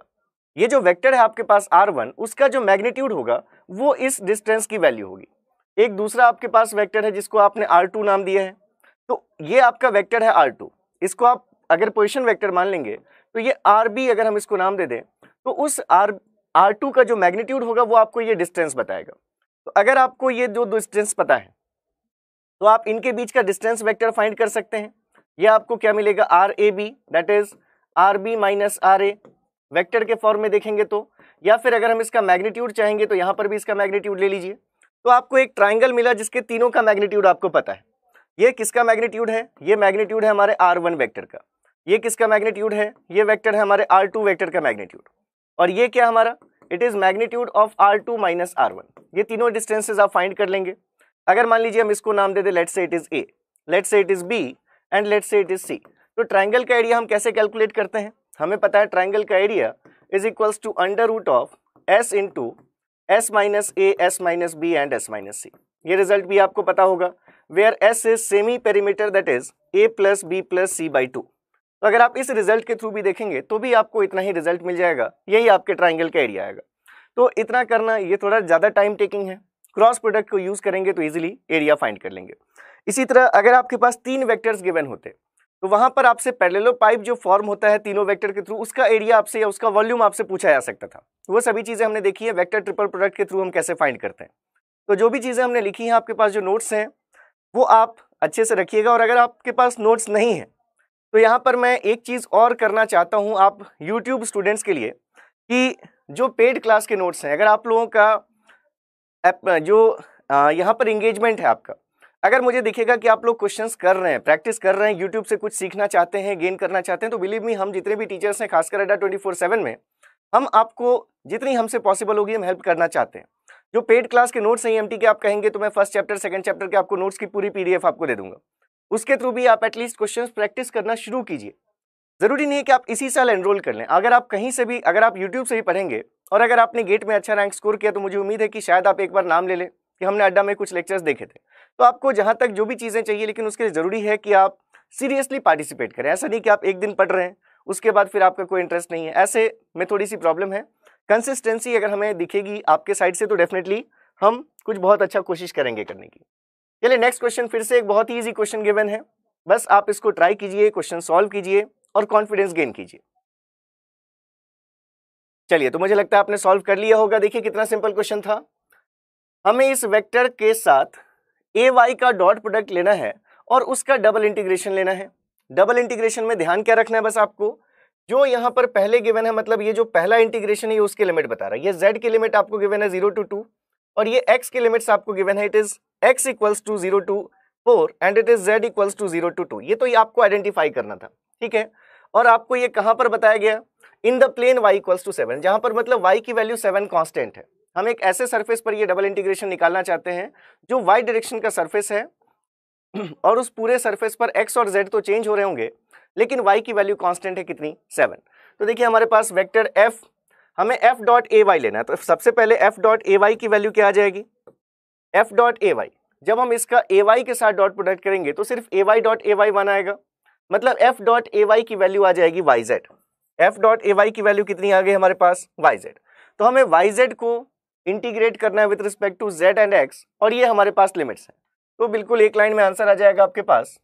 ये जो इंटीग्रेशन हमें गिवन है that is integration for z equals to zero to two and x equals to zero to four f dot a x a y की वैल्यू हमने देखी कितनी आई? वाई जेड हमें इसको z और x के रिस्पेक्ट में इंटीग्रेट करना है। Y की वैल्यू हमें जहाँ पर इंटीग्रेट करना है गिवन है कितनी? y equals to seven constant तो इस y को हम सेवन कॉन्स्टेंट बाहर ले सकते हैं। z के रिस्पेक्ट में इंटीग्रेट किया आपने। z dz को तो वैल्यू कितनी आई? z स्क्वायर बाई टू इसमें लिमिट्स पुट कर दीजिए कितनी? ज़ीरो से लेकर टू तक। और उसके बाद फिर आपके पास एक और चीज़ क्या है? dx dx का इंटीग्रेशन क्या आ जाएगा? x और इसमें लिमिट्स पुट करनी है आपको कहाँ से कहाँ तक? ज़ीरो से फोर तक। तो ये रिज़ल्ट कितना आ गया? Seven by two into z square में टू पुट करेंगे तो four minus zero that is four only और यहाँ पर भी क्या वैल्यू आ जाएगी? Four minus zero that is four मतलब ये वैल्यू आ गई टू। तो seven into two is four into two is eight and eight into seven is what fifty six. मतलब आंसर कितना आ गया आपके पास? Fifty six square unit. तो ये हंड्रेड परसेंट स्टूडेंट ने इस क्वेश्चन को सॉल्व कर लिया होगा। ठीक है? तो आज आपने अगर दस क्वेश्चन भी सॉल्व किए तो आपको अच्छा लगेगा। तो ये हमारे पास रिज़ल्ट कितना आ गया? Option b that is fifty six चलिए next question easy easy questions आपको मिलेंगे आज। क्वेश्चन नंबर इलेवन देखिए, पढ़िए सॉल्व कीजिए। चलिए तो आपने सॉल्व कर लिया होगा। क्या गिवन है हमारे पास? Two points in cylindrical coordinates are given as this हमें पूछा गया unit vector at a towards b हमारे पास ये एक पॉइंट है। ये एक पॉइंट है ए जिसके कोऑर्डिनेट्स हमें अभी सिलेंड्रिकल के केस में गिवन है। सिलेंड्रिकल के कोऑर्डिनेट्स हैं 570 degrees and minus three five मतलब ये रो की वैल्यू है 70 डिग्रीज मतलब ये फाइव की वैल्यू है एंड माइनस थ्री मतलब ये जेड की वैल्यू है। ठीक है, ये हमारे पास जेड की वैल्यू दूसरा पॉइंट है बी जिसके कोऑर्डिनेट्स हैं two minus thirty and one दूसरा हमारे पास ये पॉइंट है बी जिसके सिलेंड्रिकल कोऑर्डिनेट्स हैं टू रो की वैल्यू टू फाइव की value minus thirty and z की वैल्यू कितनी? वन जेड की वैल्यू कितनी है वन हमसे पूछा गया कि एक यूनिट वेक्टर जो कि हमारा कहाँ से कहाँ डायरेक्टेड होगा ए से बी की तरफ़ जो डायरेक्टेड होगा। अगर आप मान लीजिए कि यहाँ पर आपके पास ओरिजिन है, अगर ये ओरिजिन है ओरिजिन तो इसके कोऑर्डिनेट्स फिर से कितने हैं? ज़ीरो ज़ीरो ज़ीरो तो अगर आप ओरिजिन के रिस्पेक्ट में इस पॉइंट का पोजीशन वेक्टर डिफाइन कर ले, देखिए पोजीशन वेक्टर या डिस्टेंस वेक्टर जब हम डिफाइन करते हैं तो एक्स वाई जेड कोऑर्डिनेट्स में डिफाइन करते हैं। तो ये पोजीशन वेक्टर अगर आप इसको नाम दे दें let's say it is R A तो ये तो आपको पता है, जो इस पॉइंट के कोऑर्डिनेट्स हैं, अगर आप इसको x y z coordinates find कर लेंगे तो x a x plus y a y plus z a z से आपको क्या मिल जाएगा? इस पॉइंट का पोजिशन वैक्टर मिल जाएगा। ऐसे ही बी पॉइंट का पोजिशन वैक्टर आप फाइंड कर सकते हैं। इसको हम आर बी नाम दे देंगे। इस पॉइंट को कोऑर्डिनेट्स को अगर चेंज कर लें कार्टेशियन में तो हमारे पास डायरेक्टली इसका पोजिशन वैक्टर आर टू मिल जाएगा। तो अगर हम ए से बी को मिलाने वाली लाइन देखें तो ये हमारा डिस्टेंस वेक्टर कहलाएगा आर ए बी यह भी हम डिस्कस कर चुके हैं पहले ही कुछ क्वेश्चन में। और इस आर ए बी के अलॉन्ग अगर हम इस डायरेक्शन को एक्सटेंड करते हैं तो इसी डायरेक्शन में हमें यूनिट वेक्टर चाहिए। हमें इसी डायरेक्शन में यूनिट वेक्टर चाहिए। मतलब हमें क्या चाहिए? ए ए बी कैप तो आपको जो यूनिट वेक्टर चाहिए a a b cap a b cap इसकी वैल्यू क्या होगी? Vector distance vector r a b divided by magnitude of distance vector r a b इसके लिए हम क्या करेंगे? पहले ए और बी के कोऑर्डिनेट्स फाइंड करेंगे किसमें इन कार्टेशियन कोऑर्डिनेट्स तो कार्टेशियन में आने के लिए आपको क्या पता है? X इक्वल्स टू हम क्या लेते हैं value rho cos phi y equals to हम क्या लेते हैं? रो साइन फाइव और z की वैल्यू दोनों में सेम होती है दैट इज़ z. मतलब अगर हमें इसके a पॉइंट के कोऑर्डिनेट चाहिए तो for point a. Point a के कार्टेशियन कोऑर्डिनेट्स अगर हम देखेंगे तो x की वैल्यू कितनी होगी? रो गिवन है फाइव तो फाइव कॉस फाइव की वैल्यू गिवन है सेवेंटी डिग्रीज वाई कोऑर्डिनेट की वैल्यू कितनी होगी? Rho sine phi that is five sine seventy degrees और z कंपोनेंट तो दोनों में सेम होगा। अगर वहाँ z की वैल्यू माइनस थ्री है तो यहाँ पर भी माइनस थ्री होगी। ऐसे ही अगर आप देखें फॉर पॉइंट बी अगर पॉइंट बी के लिए देखेंगे तो x coordinate again rho cos phi rho की वैल्यू गिवन है टू तो two into cos minus thirty degrees cos आपका इवन फ़ंक्शन है cos minus theta cos theta के बराबर होगा। Y is equals to rho sine phi that is rho sine minus thirty degrees ये value minus theta आएगी। Sine minus theta is minus sine theta.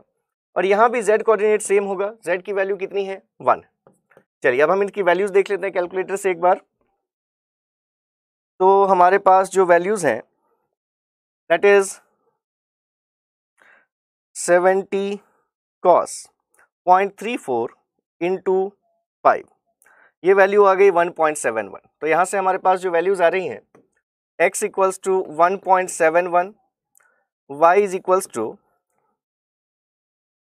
seventy हमें sine में देखना है और उसको मल्टीप्लाई करना है फाइव से। तो ये वैल्यू आ गई four point six nine eight मतलब हम फोर पॉइंट सेवन नाइन ले लेते हैं। फोर पॉइंट सेवन ले लेते हैं मतलब ठीक है?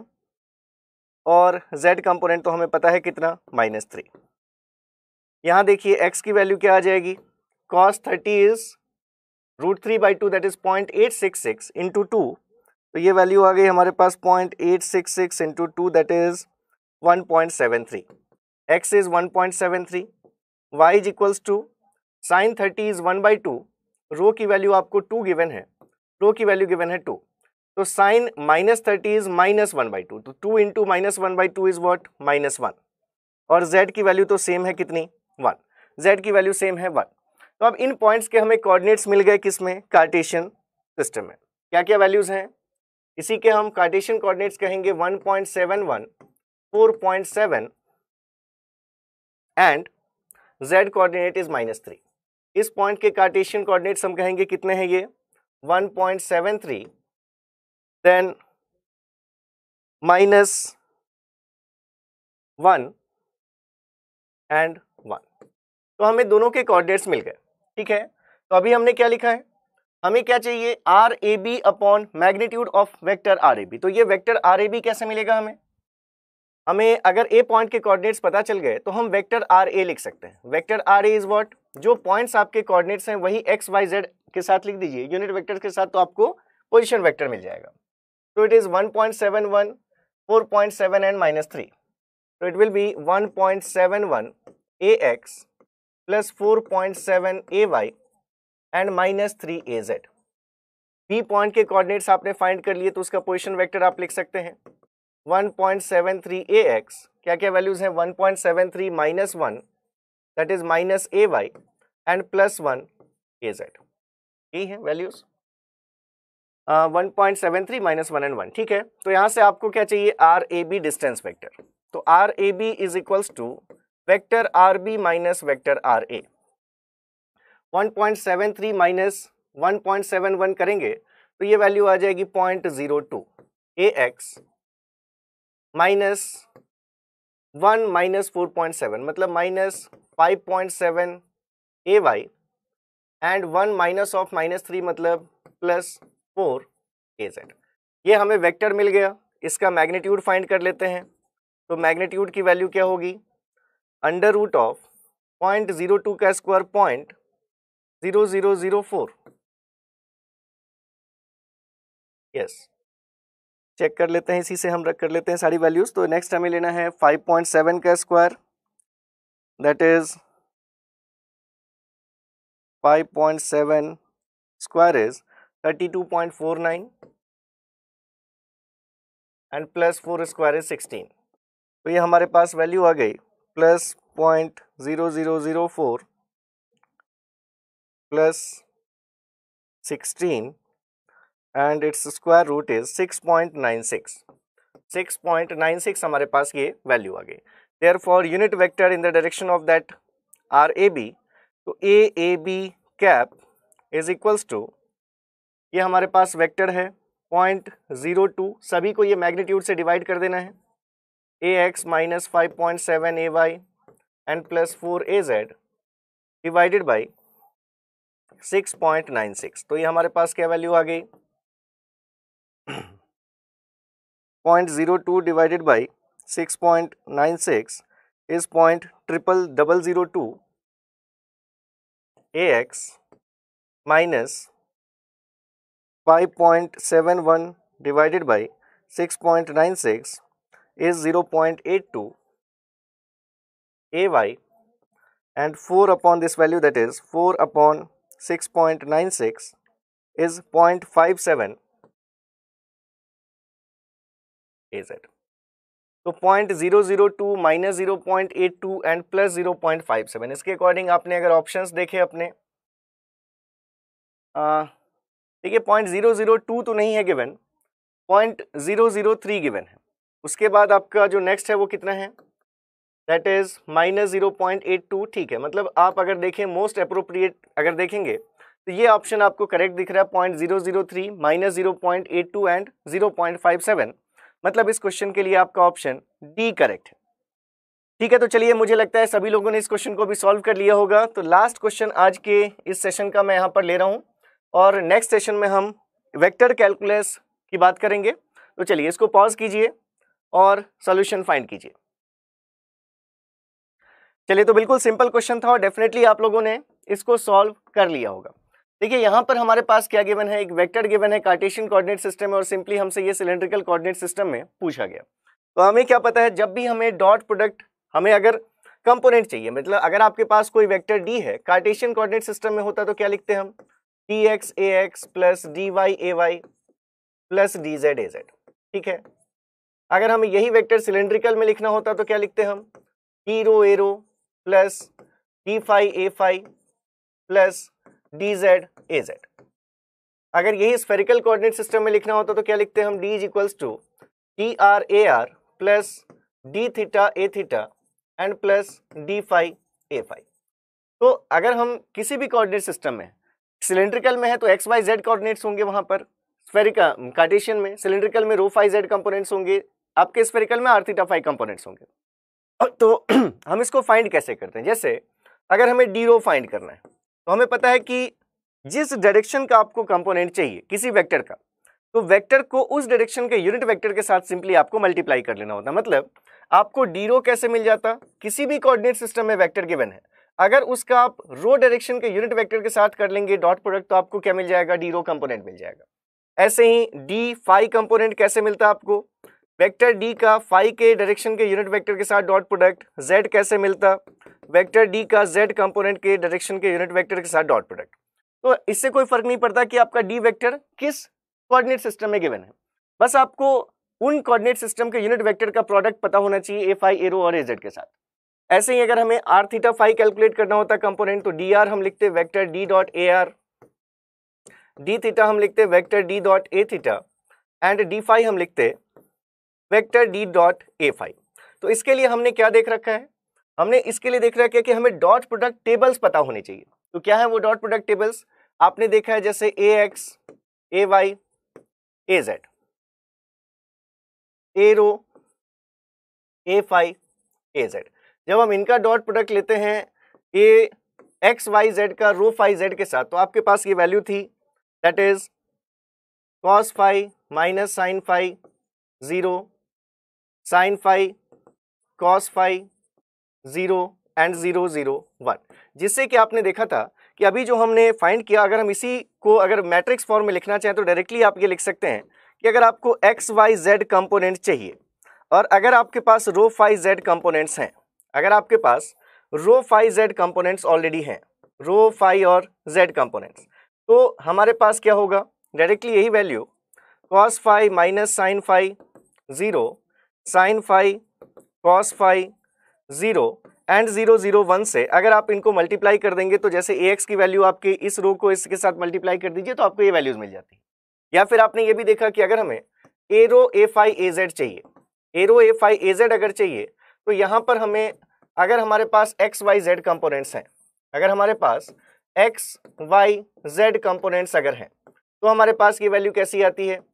कॉस फाई इसी का बस आपको कॉन्जुगेट ले लेना होता है। That is cos phi transpose actually cos phi minus sine phi zero sine phi cos phi zero and zero zero one अगर यही चीज़ हमें देखनी हो किस किस के बीच में डॉट प्रोडक्ट आपके कार्टेशियन और स्फेरिकल के बीच में तो वहाँ पर हमारे पास कैसी वैल्यू थी? अगर हम देखते a x a y a z का डॉट प्रोडक्ट किसके साथ? आर थीटा एंड फाइव के साथ। आर थीटा एंड फाइव के साथ। तो ये हमारे पास इस टेबल को भी हमने डिफाइन किया हुआ है। क्या थी हमारे पास value sine theta cos phi cos theta cos phi minus sine phi it is sine theta sine phi cos theta sine phi, cos theta sine phi and cos phi. And it is cos theta minus sine theta and 0. तो इस dot product से आपको Cartesian और cylindrical के बीच की values मिल जाएँगी। ऐसे ही आपने सिलेंड्रिकल और स्फेरिकल के बीच में भी लिखा था। तो ये सारी चीज़ें आपको पता है। यहाँ पर हमारे पास सिलेंड्रिकल में वेक्टर गिवन है और हमें कार्टेशियन में वेक्टर गिवन है और हमें सिलेंड्रिकल चाहिए। तो यहाँ पर हमारा जो वेक्टर गिवन है वो देखिए क्या गिवन है आपको। आपका वेक्टर गिवन है x upon x square plus y square a x plus y upon x square plus y square a y ठीक है, ये हमारे पास वेक्टर गिवन है।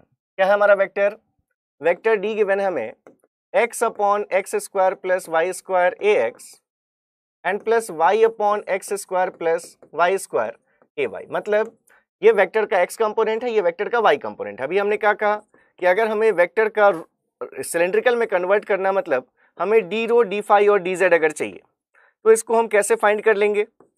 जो हमारे पास एक्स वाई जेड कंपोनेंट्स हैं एक्स कंपोनेंट कितना है? एक्स कंपोनेंट है x upon x square plus y square y component है y upon x square plus y square और जेड कंपोनेंट नहीं दिख रहा मतलब कितना है? ज़ीरो तो अगर हम इसको मल्टीप्लाई कर लें डायरेक्टली किस मैट्रिक्स के साथ?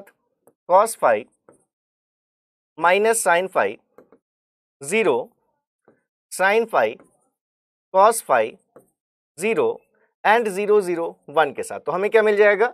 इस पहले रो को इस कॉलम के साथ मल्टीप्लाई करेंगे तो पहला rho component phi component z ऐसे हमें मिलती जाएँगी वैल्यूज़ अब इंपॉर्टेंट क्या है कि वो जो वेक्टर आएगा, अगर आप ये सिलेंड्रिकल कोऑर्डिनेट सिस्टम में वो वेक्टर फाइंड कर रहे हैं तो सिलेंड्रिकल कोऑर्डिनेट सिस्टम में एक्स वाई जेड नहीं होते। वहाँ क्या होते हैं? रो फाइव जेड होते हैं।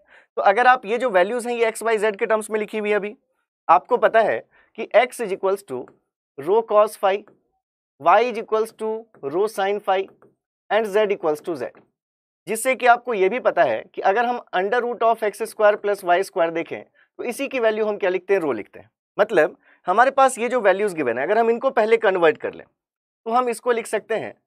एक्स को लिखा हमने रो कॉस फाइव और divided by x square plus y square को हम रो स्क्वायर लिख सकते हैं। मतलब ये वैल्यू कितनी है? One upon rho cos phi ये वैल्यू देखिए कितनी है? वाई को हम लिख सकते हैं रो साइन फाइव और divided by x square plus y square को फिर से हम रो स्क्वायर लिख सकते हैं मतलब ये one upon rho sine phi है, और ये तो ज़ीरो ही है। तो अगर आप इन दोनों को मल्टीप्लाई कर लेंगे तो आपको डी रो डी फाइव और डी जेड कंपोनेंट्स मिल जाएँगे। तो देखिए क्या होगी वैल्यूज़ अगर आपने रो कंपोनेंट देखा तो डी रो की वैल्यू इस पहले रो को इस कॉलम के साथ मल्टीप्लाई करना है। तो cos phi into one upon rho cos phi that is one upon rho into cos square phi plus sine phi into one upon rho sine phi that will be one upon rho into sine square phi और zero into zero that is zero तो ये हमारे पास क्या आया? Rho component आया। One upon rho common कर लेंगे तो cos square phi plus sine square phi की वैल्यू कितनी हो जाएगी? वन मतलब ये वैल्यू कितनी आ गई total it is nothing but one upon rho only तो ये हमारे पास रो कंपोनेंट आ गया। पाई कंपोनेंट क्या होता?